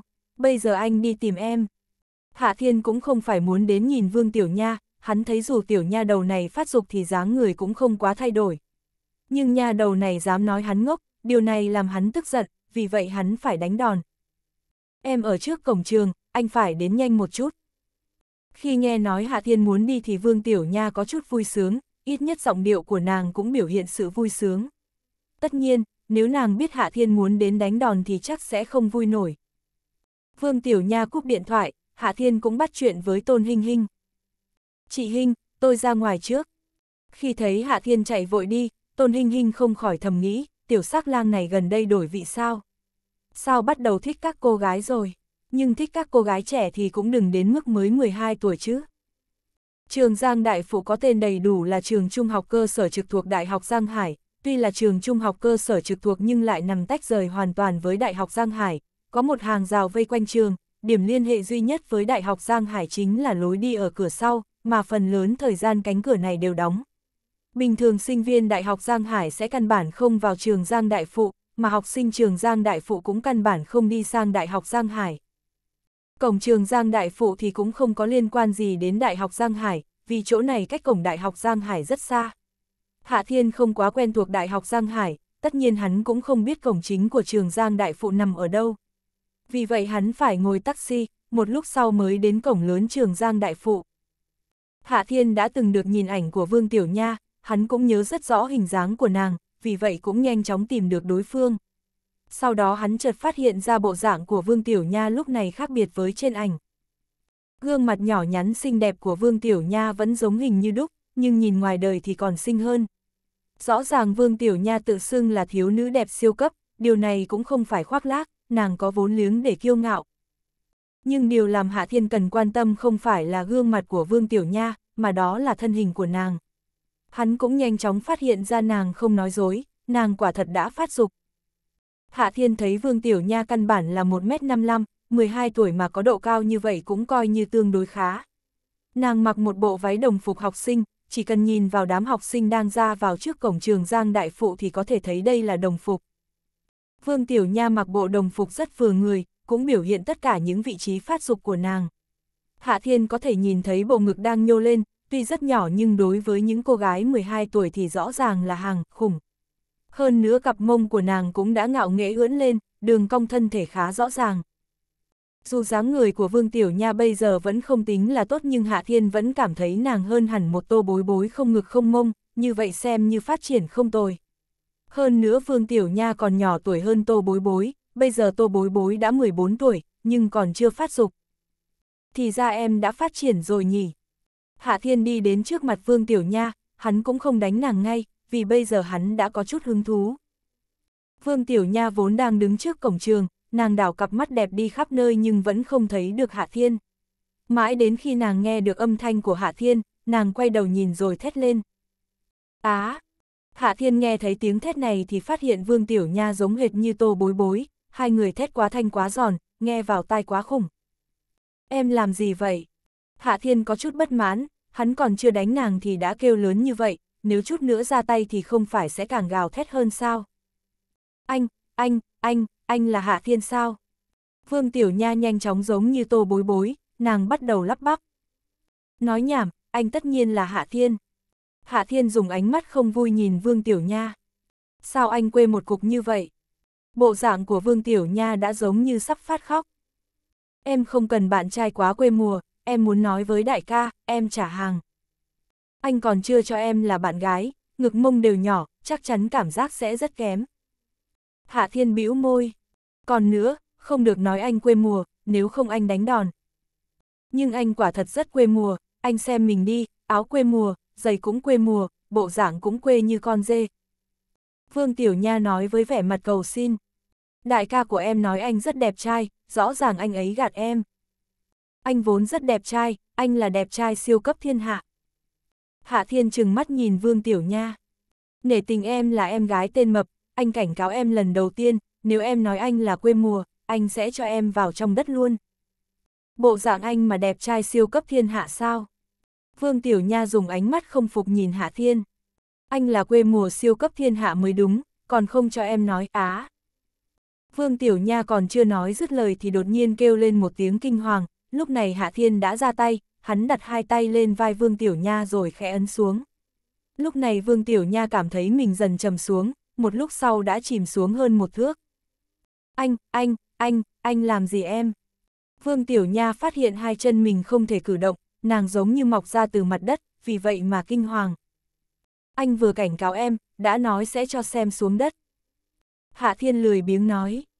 Sau này em cũng chỉ có thể đứng như vậy, không nhổ chân ra được, sau này già đi cũng như vậy. Sao anh lại như vậy? Em là bạn gái của anh, anh rõ ràng ngược đãi bạn gái, em cần phải đến tỏ chức bảo vệ nhi đồng tố cáo anh. Vương Tiểu Nha tức giận nói. Em không phải là bạn gái của anh, tuy em đã bắt đầu phát dục nhưng vẫn còn quá kém, anh chẳng muốn. Hạ Thiên không cho là đúng. Này, anh không biết nhìn về tương lai sao? Bây giờ em 12 tuổi đã phát triển ngon lành thế này, vài năm nữa em sẽ là đại mỹ nữ siêu cấp khêu gợi. Bây giờ em là bạn gái của anh, vài năm sau em làm vợ anh, anh tha hồ mà, làm ăn, này nọ. Vương Tiểu Nha ra vẻ căm tức và bất bình. Phải không? Hạ Thiên trừng mắt nhìn Vương Tiểu Nha. Con người của anh rất tốt, anh cũng không muốn chiếm tiên nghi của em, thôi thì em cứ ở lại chơi, anh về nhà với vợ. Hạ Thiên nói xong thì xoay người bỏ đi, Vương Tiểu Nha lập tức luống cuống, nàng la lớn. Này, anh đừng đi, mau đưa em ra. chương 358, Côn Đồ Trường Học. Hạ Thiên dừng bước quay lại nhìn Vương Tiểu Nha, bộ dạng rất buồn bực. Sao anh phải đưa em ra? Em là bạn gái của anh. Vương Tiểu Nha vội vàng nói. Sao anh có thể bỏ mặc bạn gái như vậy được? Anh không biết chịu trách nhiệm biết không? Đàn ông không biết chịu trách nhiệm thì không tốt. Gần đây anh thường rất chịu trách nhiệm, nhưng em không phải là bạn gái anh, vì vậy anh không cần chịu trách nhiệm. Hạ Thiên lười biếng nói. Hu hu. Vương Tiểu Nha bệt miệng khóc lớn, nàng khóc rất thương tâm, khóc đến mức Hạ Thiên sững sờ. Hắn không phải đã nói chẳng cần nàng làm bạn gái à? Sao lại khóc lóc khoa trương như vậy? Đàn ông cũng đừng nên quá quyến rũ. Hạ Thiên lầm bầm. Đẹp trai như mình, không ngờ lại để cho người đẹp khóc sướt mướt muốn làm vợ. Vương Tiểu Nha đang khóc đến mức cực kỳ thương tâm nghe được lời nói của Hạ Thiên mà không khỏi ứ hơi, hầu như thiếu chút nữa đã sặc chết, người này đúng là cực phẩm. Hu hu, Vương Tiểu Nha có hơi ngừng lại, sau đó còn khóc lớn hơn. Đồ khốn kiếp, bội tình bạc nghĩa, không chịu trách nhiệm. Đúng lúc này cũng có không người đi ra khỏi cổng trường Giang Đại Phụ, nếu không sợ rằng Hạ Thiên sẽ bị công phẫn. Người này dám bội tình bạc nghĩa với một cô gái siêu cấp đáng yêu như vậy, đúng là nên bị trời đánh tan xác. Khi thấy Vương Tiểu Nha càng khóc càng thương tâm thì Hạ Thiên lại mở miệng. Này, thấy em muốn làm vợ anh đến mức độ như vậy à, anh cho em cơ hội. Anh hỏi em một vấn đề, nếu em trả lời làm thỏa mãn, anh sẽ nhận em làm vợ. Vương Tiểu Nha nghe thấy như vậy thì ngừng khóc, sau đó nàng dùng hai tay lau mặt, nước mắt đã được sau sạch, ngay sau đó bộ dạng không giống như vừa khóc xong. Vấn đề gì, anh hỏi nhanh lên. Vương Tiểu Nha có chút vội vàng. Anh đẹp trai không? Hạ Thiên nghiêm trang hỏi. Đẹp, quá đẹp, đẹp trai vô đối thiên hạ không có đối thủ. Vương Tiểu Nha trả lời không chút do dự. Hạ Thiên rất thỏa mãn, sau đó hắn lại hỏi. Anh quê mùa sao? Sao anh lại quê mùa? Anh đặc biệt mô đen, cực kỳ mô đen, anh là người mô đen vô đối thiên hạ. Vương Tiểu Nha vẫn trả lời không chút do dự. Hạ Thiên càng thêm hài lòng, hắn khẽ gật đầu. Được rồi, nể mặt em sùng bái anh, anh sẽ miễn cưỡng thu em làm vợ. Nhưng anh phải nói trước, nếu em không trở thành đại mỹ nữ, anh sẽ trả hàng. Em còn quá nhỏ, em nhỏ nên không làm vợ anh, chỉ có thể làm bạn gái. Vương Tiểu Nha chấp cặp mắt đẹp nói. Đợi khi em lớn lên sẽ làm vợ anh. Cũng đúng, làm bạn gái thì là bạn gái. Hạ Thiên cũng không quan tâm. Bây giờ em là bạn gái của anh, anh nên đưa em ra chứ. Vương Tiểu Nha vội vàng nói. Hạ Thiên cười hì hì, hắn đi đến trước mặt Vương Tiểu Nha rồi vươn tay bế nàng lên, thân thể của nàng rất mềm mại, ôm rất thoải mái. Vương Tiểu Nha còn chưa thấy Hạ Thiên dùng sức thì thân thể chợt nhẹ bẫng, sau đó nàng phát hiện hai chân của mình đã được rút ra. Ủa, đây là chỗ em vừa đứng sao? Vương Tiểu Nha cúi đầu nhìn, nàng thấy hai dấu chân rất sâu, vì vậy không khỏi kêu lên có chút khoa trương. Đúng vậy. Hạ Thiên khẽ gật đầu, hắn vẫn ôm Vương Tiểu Nha mà không buông ra. Ôi, đúng là quá tuyệt, em muốn thử một lần nữa. Vương Tiểu Nha nói với vẻ mặt hưng phấn. Anh mau giúp em, em muốn in ra hai dấu chân. Hạ Thiên là người đàn ông yêu thương vợ, tuy Vương Tiểu Nha chỉ là bạn gái mà không phải vợ, nhưng sau này có hơn phân nửa khả năng sẽ là vợ hắn. Vì vậy lúc này hắn nhanh chóng thỏa mãn ước nguyện của Vương Tiểu Nha, hắn ấn nàng xuống rồi lại rút lên, trên mặt đất lại có hai dấu chân. Này, rất vui, em còn muốn. Vương Tiểu Nha khơi gợi niềm hào hứng, nàng tiếp tục quấn lấy Hạ Thiên ở trò này. Kết quả là chỉ trong một khoảng thời gian, Vương Tiểu Nha được Hạ Thiên trợ giúp đã in ra vô số dấu chân trước cổng trường Giang Đại Phụ, những dấu chân này còn hợp lại thành vài chữ lớn, Vương Tiểu Nha siêu cấp mỹ nữ. Vương Tiểu Nha nhìn những dòng chữ này mà cực kỳ vui sướng, nàng ôm lấy cánh tay của Hạ Thiên rồi nói. Hạ Thiên ca ca, anh đúng là đẹp trai, lợi hại, em sùng bái anh.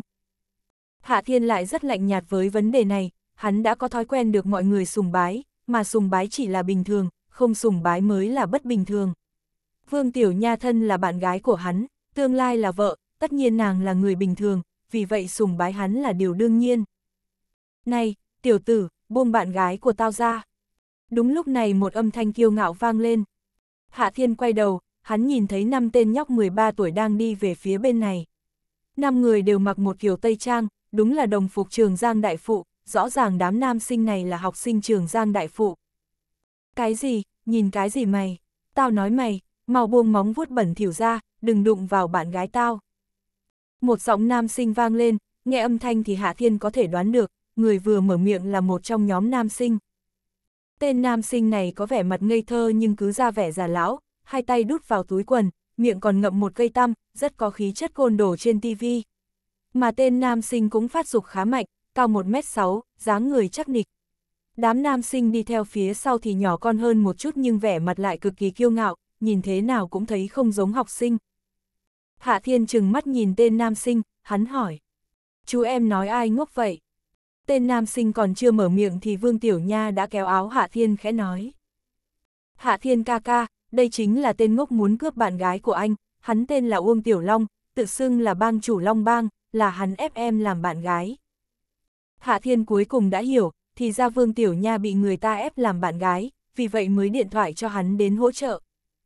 Này, chú em, anh bình thường không ăn hiếp trẻ nít, vì vậy anh cho chú một cơ hội, chú lập tức cút đi, nếu không anh sẽ cho ăn đòn.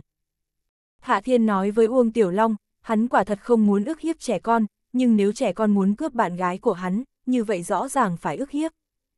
Uông Tiểu Long nghe thấy Hạ Thiên nói như vậy thì dùng ánh mắt khinh thường nhìn chằm chằm một lúc lâu, sau đó hắn cười lên ha hả. Khi hắn cất tiếng cười thì đám nam sinh phía sau cũng cười lớn, lúc này năm người đều cười, bộ dạng vui hơn chúng sổ số. Này, đám nhóc, các chú có biết mình rất ồn ào không? Nếu tiếp tục cười, anh sẽ cho các chú câm lặng bây giờ.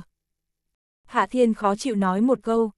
Uông Tiểu Long cuối cùng cũng ngừng cười, hắn dừng lại thì bốn tên đàn em cũng thôi không cười. Vương Tiểu Nha, cô tìm đâu ra mặt hàng này vậy? Đúng là quá mức tức cười. Uông Tiểu Long mở miệng nói, nhưng hắn không nói với Hạ Thiên, người được hỏi là Vương Tiểu Nha. Uông Tiểu Long, đừng si tâm vọng tưởng, đây là Hạ Thiên ca ca, cũng là bạn trai của tôi, tôi cảnh cáo anh, Hạ Thiên ca ca rất lợi hại, nếu còn tiếp tục quấy giày tôi, Hạ Thiên ca ca sẽ đánh cho các người một trận. Vương Tiểu Nha ngẩng đầu lên, nàng ưỡn bộ ngực nhỏ có vẻ rất kiêu ngạo, nàng quát lên với Uông Tiểu Long. Bạn trai, Uông Tiểu Long lại rời mắt về phía Hạ Thiên, sau đó hắn đi một vòng quan người Hạ Thiên, cuối cùng dừng lại trước mặt Hạ Thiên và phất tay nói. Được lắm, tiểu tử, mày có thể cút đi, bây giờ Vương Tiểu Nha là của tao. Hạ Thiên tung một đá lên người Uông Tiểu Long, tên này không kêu lên tiếng nào mà ngã xuống. Chú bé, tuy anh không thích ức hiếp trẻ con, nhưng chú cần phải ăn đòn mới sáng mắt ra. Hạ Thiên nói không chút hứng thú. Hừ, dám đánh Long ca sao? Lên, đập chết nó. Bốn tên thủ hạ của Uông Tiểu Long phóng lên, Hạ Thiên liên tục nhấc chân đạp vài cái, bốn tiếng rên vang lên, bốn chú nhóc ngã xuống. Ha ha, Hạ Thiên ca ca quá tuyệt. Vương Tiểu Nha ở bên cạnh vỗ tay hoan hô. Uông Tiểu Long, đúng là quá si tâm, tôi cảnh cáo anh, tôi đã nói Hạ Thiên ca ca rất lợi hại, bây giờ biết chưa? Biết thì cút, lần sau đừng đến làm phiền tôi, tôi là hoa đã có chủ. Uông Tiểu Long bò lên, hắn phủi bụi trên người, sau đó hắn nhìn chằm chằm vào Hạ Thiên, bộ dạng rõ ràng không tức giận. Rất tốt, dám đánh tao, biết tao bao nhiêu tuổi rồi không? Chú em bao nhiêu tuổi có liên quan gì đến anh, dám cướp, ghẹ, của anh, chú ba tuổi anh cũng vã cho sái hàm. Hạ Thiên dùng giọng mất kiên nhẫn nói.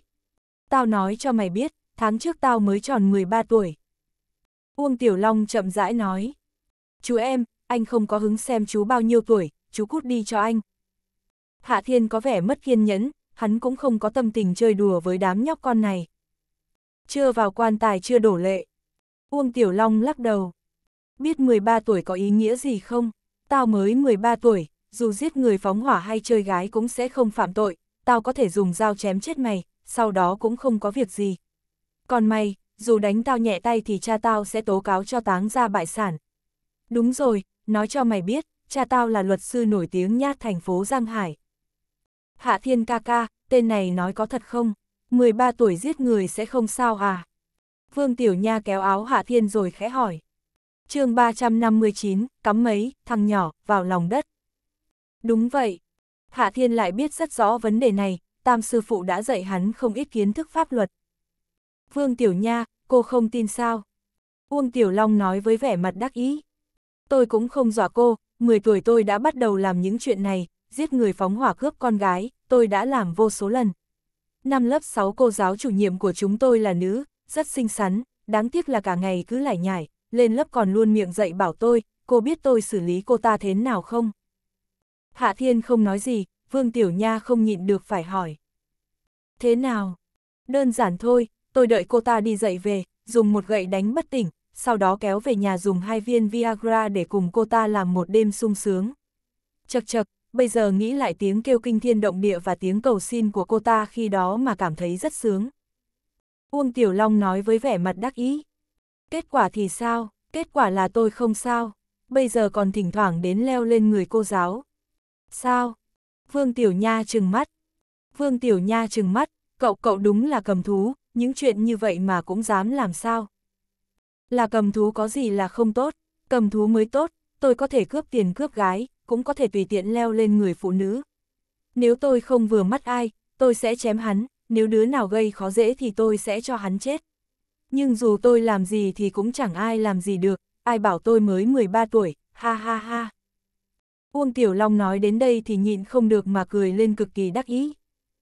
Vương Tiểu Nha, bây giờ tôi yêu cầu cô làm bạn gái, cô theo tôi có thể sung sướng. Nếu bây giờ cô đồng ý thì tôi có thể dịu dàng, nhưng không đồng ý thì kết quả sẽ thảm hại hơn cô giáo trước kia, cô biết sẽ bị thế nào không? Vương Tiểu Nha trừng cặp mắt đẹp, nàng dùng ánh mắt thấy quái vật nhìn Uông Tiểu Long, nàng căm giận nói. Uông Tiểu Long, cậu là quân khốn kiếp, là cầm thú vô sỉ, tôi sẽ không đồng ý, nếu dám động vào người tôi, tôi sẽ để Hạ Thiên ca ca nhét các người vào lòng đất. Vương Tiểu Nha, đúng là chưa thấy quan tài chưa đổ lệ. Tôi nói cho cô biết, Uông Tiểu Long tôi chưa từng nói giỡn, tôi nói chém ai thì sẽ chém, nói chơi con nào là chơi, chưa từng có chuyện gì tôi muốn mà không làm được. Nếu cắm tôi vào trong đất, tôi có thể cưỡng gian cả địa cầu. Uông Tiểu Long nói với vẻ mặt kiêu ngạo, rõ ràng hắn không sợ vì bị Hạ Thiên đánh vừa rồi, hơn nữa bây giờ hắn lại càng khoa trương. Vương Tiểu Nha ngây người, đối phương quá khủng bố, ngay cả câu nói cưỡng gian cả địa cầu cũng mở miệng được. Thế nào, biết lợi hại chưa? Khi thấy Vương Tiểu Nha ngây ngốc thì Uông Tiểu Long có chút đắc ý. Bây giờ cô hối hận còn kịp, tranh thủ thời gian vứt bỏ thằng này đi, theo tôi. Vương Tiểu Nha cuối cùng cũng có phản ứng, nàng kéo áo Hạ Thiên rồi khẽ nói. Hạ Thiên ca ca, làm sao bây giờ, người này quá khốn kiếp, em không muốn làm bạn gái hắn. Em là bạn gái của anh, tất nhiên sẽ không làm bạn gái nó. Hạ Thiên lười biếng nói, hắn nhìn về phía Uông Tiểu Long, vẻ mặt có chút cổ quái. Này, chú em, chú vừa nói anh cắm chú vào trong đất, chú có thể cưỡng hiếp cả địa cầu sao? Tiểu tử, cút sang một bên, nếu không ông sẽ chém mày. Uông Tiểu Long vẫn cực kỳ trâu chó. Tiểu nha đầu, em nói chú em này có sở thích đặc biệt gì không? Sao chú em này lại muốn cưỡng gian cả địa cầu? Hạ Thiên quay đầu nhìn Vương Tiểu Nha. Vương Tiểu Nha khẽ gật đầu. Đúng vậy, em thấy hắn là siêu cấp biến thái. Vậy thì anh sẽ thỏa mãn sở thích của chú em này, sẽ cho chú em cưỡng gian cả địa cầu. Hạ Thiên cười hì hì nói. Em cảm thấy thế nào? Sao? Vương Tiểu Nha chấp cặp mắt đẹp nói. Điều này cũng được sao? Tất nhiên là được, không tin thì xem đây. Hạ Thiên nói xong thì ra tay. Trên tay Hạ Thiên xuất hiện một cây ngân châm, hắn đột nhiên phóng về phía Uông Tiểu Long đâm hai châm vào bụng, khoảnh khắc sau Uông Tiểu Long cảm thấy bộ phận nào đó trên người trượt cứng như sắt, thậm chí còn lợi hại hơn cả khi ăn Viagra. Động tác của Hạ Thiên cũng không chấm dứt, hắn đá lên người Uông Tiểu Long, tên này bay lên không trung, một giây sau thân thể của hắn đã ở vào vị trí song song với mặt đất rồi bắt đầu rơi xuống. Nhưng khi tốc độ rơi xuống còn chưa đủ nhanh thì Hạ Thiên đã nhảy lên, hắn vỗ một chướng lên lưng Uông Tiểu Long, vì thế mà tốc độ rơi xuống đất của Uông Tiểu Long lập tức được đẩy mạnh, khoảnh khắc sau đã tiếp xúc thân mật với mặt đất. Lúc này bộ vị cứng rắn trên người Uông Tiểu Long cũng đâm thẳng vào nền đất cứng. Thỏa mãn chưa? Hạ Thiên nhìn Uông Tiểu Long rồi lầm bầm. Uông Tiểu Long chống hai tay xuống đất, hắn chuẩn bị đứng lên nhưng bộ phận quan trọng nhất của đàn ông lại truyền đến cảm giác đau nhức. Lần này hắn đã phát hiện được vấn đề bất bình thường, vì vậy dáng sức ngẩng đầu quát lên với Hạ Thiên. Mày đã làm gì với tao? Chú em không muốn cưỡng gian địa cầu sao? Bây giờ anh thỏa mãn nguyện vọng cho chú, chú phải cảm ơn anh mới đúng. Hạ Thiên lười biếng nói, chú em này dám có ý đồ cướp bạn gái, nuôi rồi thịt của hắn, tất nhiên hắn phải cho thằng nhỏ của đối phương vĩnh viễn cưỡng gian mặt đất. Mày, con bà nó mau thả tao ra. Uông Tiểu Long quát lớn. Nếu không ông chém chết mày. Chú quá ồn. Hạ Thiên ngáp một cái rồi thuận tay đá lên người Uông Tiểu Long, sau đó Uông Tiểu Long chính thức câm nín. Long ca, anh làm sao vậy? Long ca, anh không sao đấy chứ? Không tốt, tiểu tử này làm gì đó với Long ca rồi. Nhanh, mọi người xuông lên chém chết mẹ nó đi. Bốn tên thủ hạ của Uông Tiểu Long lập tức cảm thấy tình huống không đúng, sau đó chúng lại xông lên. Lần này thì khác biệt, bốn tên móc trong cặp da mã tấu sáng quắc, sau đó chém về phía Hạ Thiên. Hạ Thiên ca ca chú ý. Vương Tiểu Nha duyên dáng kêu lên một tiếng, đây là lần đầu tiên Tiểu Nha đầu này nhìn thấy người khác cầm dao chém người, tất nhiên trước đó cũng đã từng xem qua trên TV, nhưng đó không trực tiếp, như bây giờ. Tình cảnh này đối với Hạ Thiên thì còn chưa bằng một bữa ăn sáng, tối qua hắn vừa xử lý vài chục tên bộ đội ngu như heo được trang bị tận răng, đám nhóc cầm dao này có uy hiếp gì với hắn. Hạ Thiên tùy ý vung tay, bốn thanh mã tấu rơi vào trong tay của hắn, sau đó hắn tiện tay quăng dao ra, tất cả đều cắm quanh đầu Uông Tiểu Long. Lần này Uông Tiểu Long cũng không dám ngẩng đầu lên. Hạ Thiên lại cầm ngân châm hóa thành một cái bóng nhàn nhạt phóng một vòng quanh bốn tên nam sinh, hắn đâm lên mỗi tên hai châm, sau đó cho mỗi tên một đá bay lên không, cuối cùng hắn nhảy lên vỗ vào lưng đám khốn kiếp. Vì vậy mà bốn tên này học theo kiểu của Uông Tiểu Long, thực hiện nguyện vọng cưỡng hiếp địa cầu. Yeah, Hạ Thiên ca ca, anh đúng là rất tuyệt. Trong cặp mắt xinh đẹp của Vương Tiểu Nha lóe lên những ngôi sao sáng, xem ra nàng càng ngày càng sùng bái Hạ Thiên. Cô bé xinh đẹp đáng yêu này không ngờ đã rơi vào tay giặc, xem ra cả đời này khó tránh khỏi bàn tay Hạ Thiên. Đó là đương nhiên, anh lúc nào mà trả tuyệt. Hạ Thiên ngày càng thỏa mãn với Vương Tiểu Nha, chỉ trong chốc lát mà nha đầu kiên định hót hắn hơi nhiều. Hạ Thiên ca ca, chúng ta làm sao bây giờ? Vương Tiểu Nha nhìn năm tên nam sinh đang chống đẩy mà không thể nói chuyện, sau đó nàng hỏi Hạ Thiên. Bây giờ cũng không còn sớm, chúng ta đi dùng cơm. Hạ Thiên suy nghĩ rồi nói, lúc này đúng là không còn sớm, tất nhiên hắn thật ra vẫn chưa đói vì vừa ăn chưa lâu. Nhưng suy xét đến khả năng Vương Tiểu Nha có lẽ cũng đã đói bụng, vì vậy hắn quyết định đưa nàng đi dùng cơm. Đây là vợ tương lai, sao có thể để nàng đói bụng được. Quan trọng là nếu không cho Vương Tiểu Nha ăn nhiều một chút thì sao phát dục thành đại mỹ nữ khiêu gợi siêu cấp. Nếu nàng không phải là đại mỹ nữ khiêu gợi siêu cấp thì hắn thiệt thòi lớn. Tốt, em đang đói. Vương Tiểu Nha gật đầu. Nhưng đám khốn kiếp này thì sao? Bỏ mặc sao? Quan tâm đám nhóc con này làm gì? Hạ Thiên Thuận miệng nói. Đúng vậy, em cũng không quan tâm. Vương Tiểu Nha nghiêng đầu suy nghĩ, sau đó nàng gật đầu ôm cánh tay Hạ Thiên. Hạ Thiên ca ca, chúng ta đi dùng cơm thôi. Khi hai người chuẩn bị rời đi thì có một nhóm học sinh đi ra khỏi cổng, sau đó đám học sinh thấy được một tình cảnh quỷ dị, vì vậy mà không khỏi chỉ trỏ. Những người kia làm gì vậy? Quá kỳ quái, bọn họ hít đất như vậy mà không mệt sao? Nhìn có vẻ không giống. Ủa, đây không phải là Vương Tiểu Nha sao? Đúng vậy, là Vương Tiểu Nha. Người nào bên cạnh Vương Tiểu Nha vậy? Sao hai người thân mật như thế? Tám phần là anh. Có lẽ là chú. Tuy Vương Tiểu Nha mới vào học ở trường Giang Đại Phụ được vài ngày nhưng bây giờ người biết nàng là rất đông.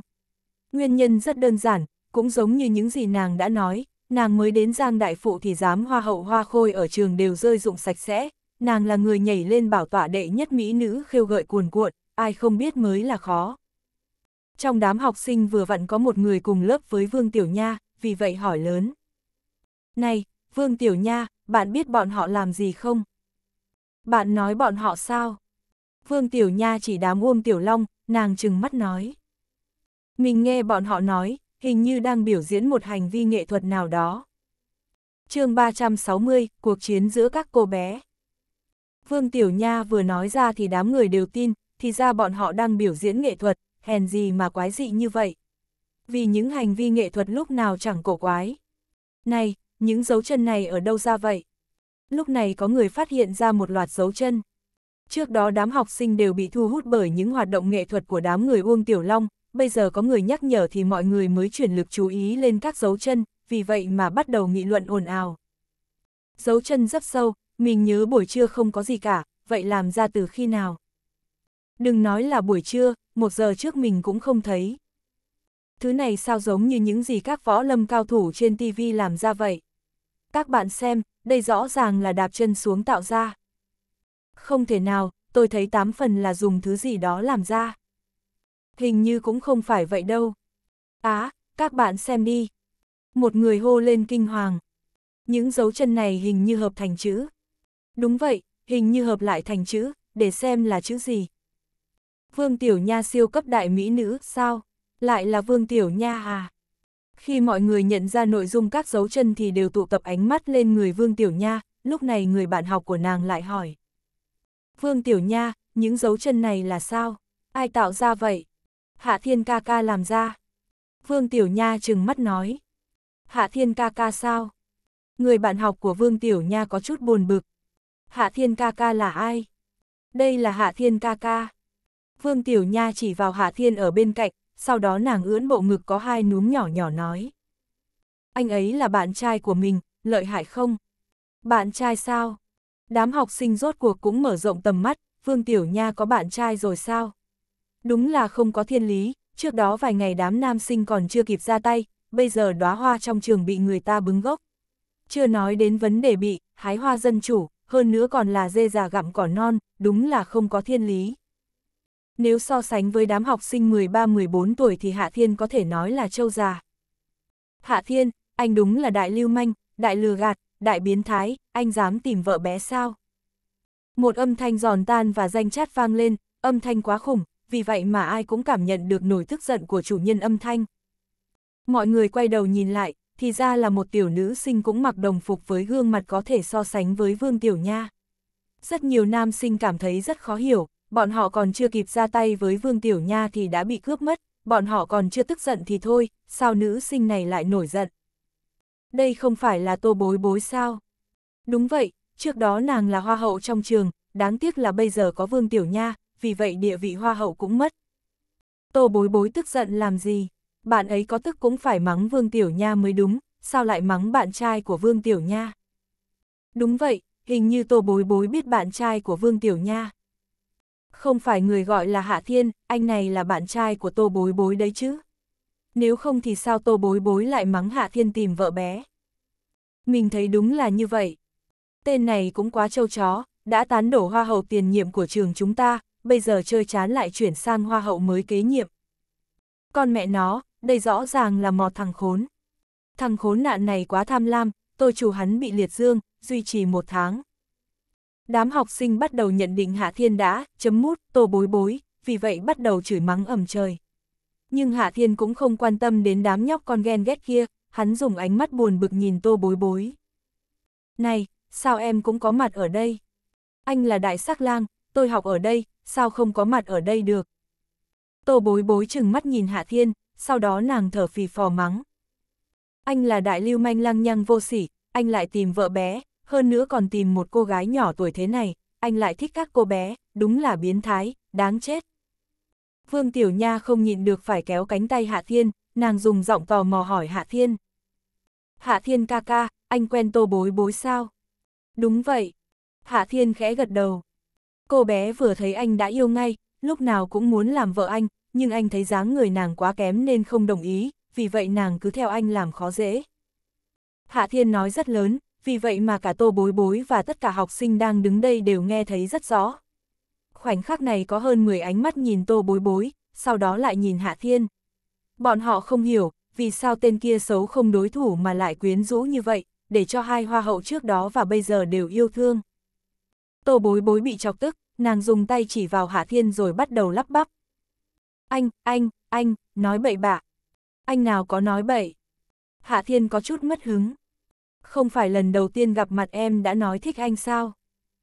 Em nói mình thích Hạ Thiên. Tô bối bối căm giận nói. Đúng vậy, anh không phải là Hạ Thiên sao? Hạ Thiên đón lời. Nhưng, cô chỉ là tự mình thừa nhận mà thôi. Vương Tiểu Nha tự hát đệm, nàng bắt đầu đả kích tô bối bối. Này, cô đừng si tâm vọng tưởng, Hạ Thiên ca ca đã có bạn gái là tôi, anh ấy sẽ không thích cô. Cô xem lại mình đi, nào có thể so với tôi.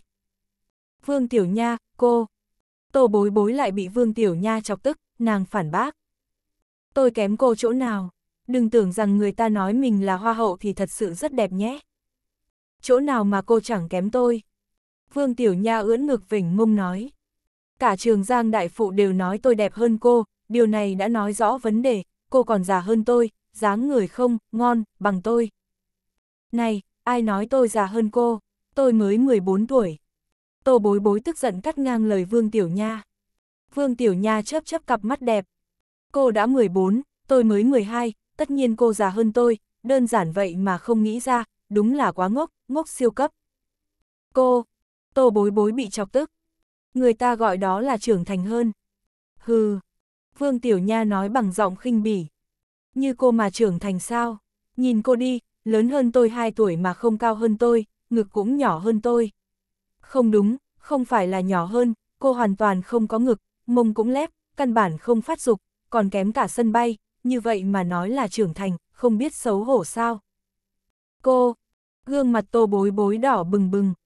14 tuổi chưa phát dục chỉ là bình thường, cô 12 tuổi đã phát dục là không bình thường, tôi xem cô ăn qua nhiều thực phẩm rác rưởi, bị thứ rác rưởi đó kích thích. Cô mới ăn nhiều thực phẩm rác rưởi. Miệng lưới của Vương Tiểu Nha rất lợi hại. Đáng tiếc là những thứ rác rưởi kia lại kìm nén cô không phát dục, không đúng, cô sẽ phát dục, nhưng phát dục làm đàn ông, ha ha ha. Cô, cô, cô.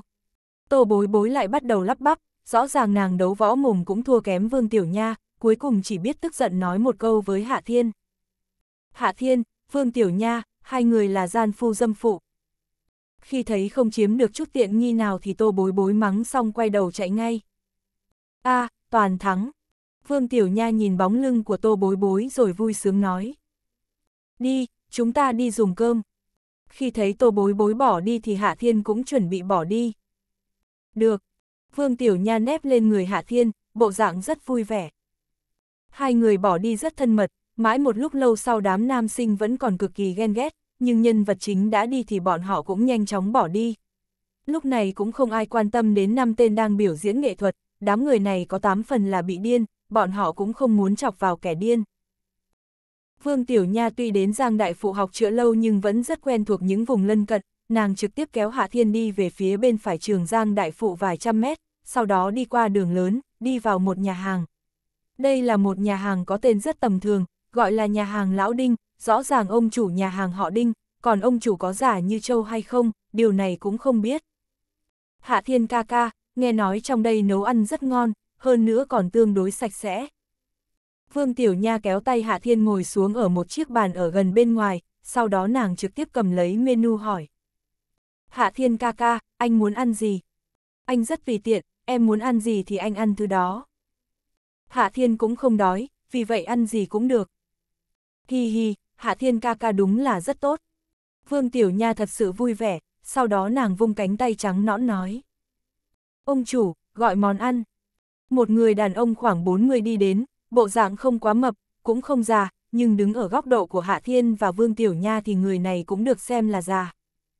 Thịt kho tiêu, sườn xào chua ngọt, canh gà, nhanh lên nhé, đói lắm rồi đấy. Vương Tiểu Nha vội vàng nói. Được, đến ngay. Người đàn ông ghi nhớ món ăn, sau đó đi vào phòng bếp. Nhà hàng này cũng không lớn, lúc này cũng chỉ có vài người dùng cơm, vì vậy khá quạnh quẽ. Nhưng cũng đúng như lời của Vương Tiểu Nha, nơi đây rất sạch và có lẽ là nấu ăn ngon. Vì bây giờ có rất ít người nên tốc độ mang thức ăn lên cũng rất nhanh, Vương Tiểu Nha có vẻ rất đói bụng, nàng nhanh chóng chiến đấu, dĩa sườn xào chua ngọt vào bụng nàng hơn phân nửa, hơn phân nửa phần cơm cũng bị nàng diệt gọn. Hạ Thiên thấy nàng ăn rất ngon thì cực kỳ vui sướng, nếu cứ cố gắng như vậy thì có tương lai làm đại mỹ nữ siêu cấp.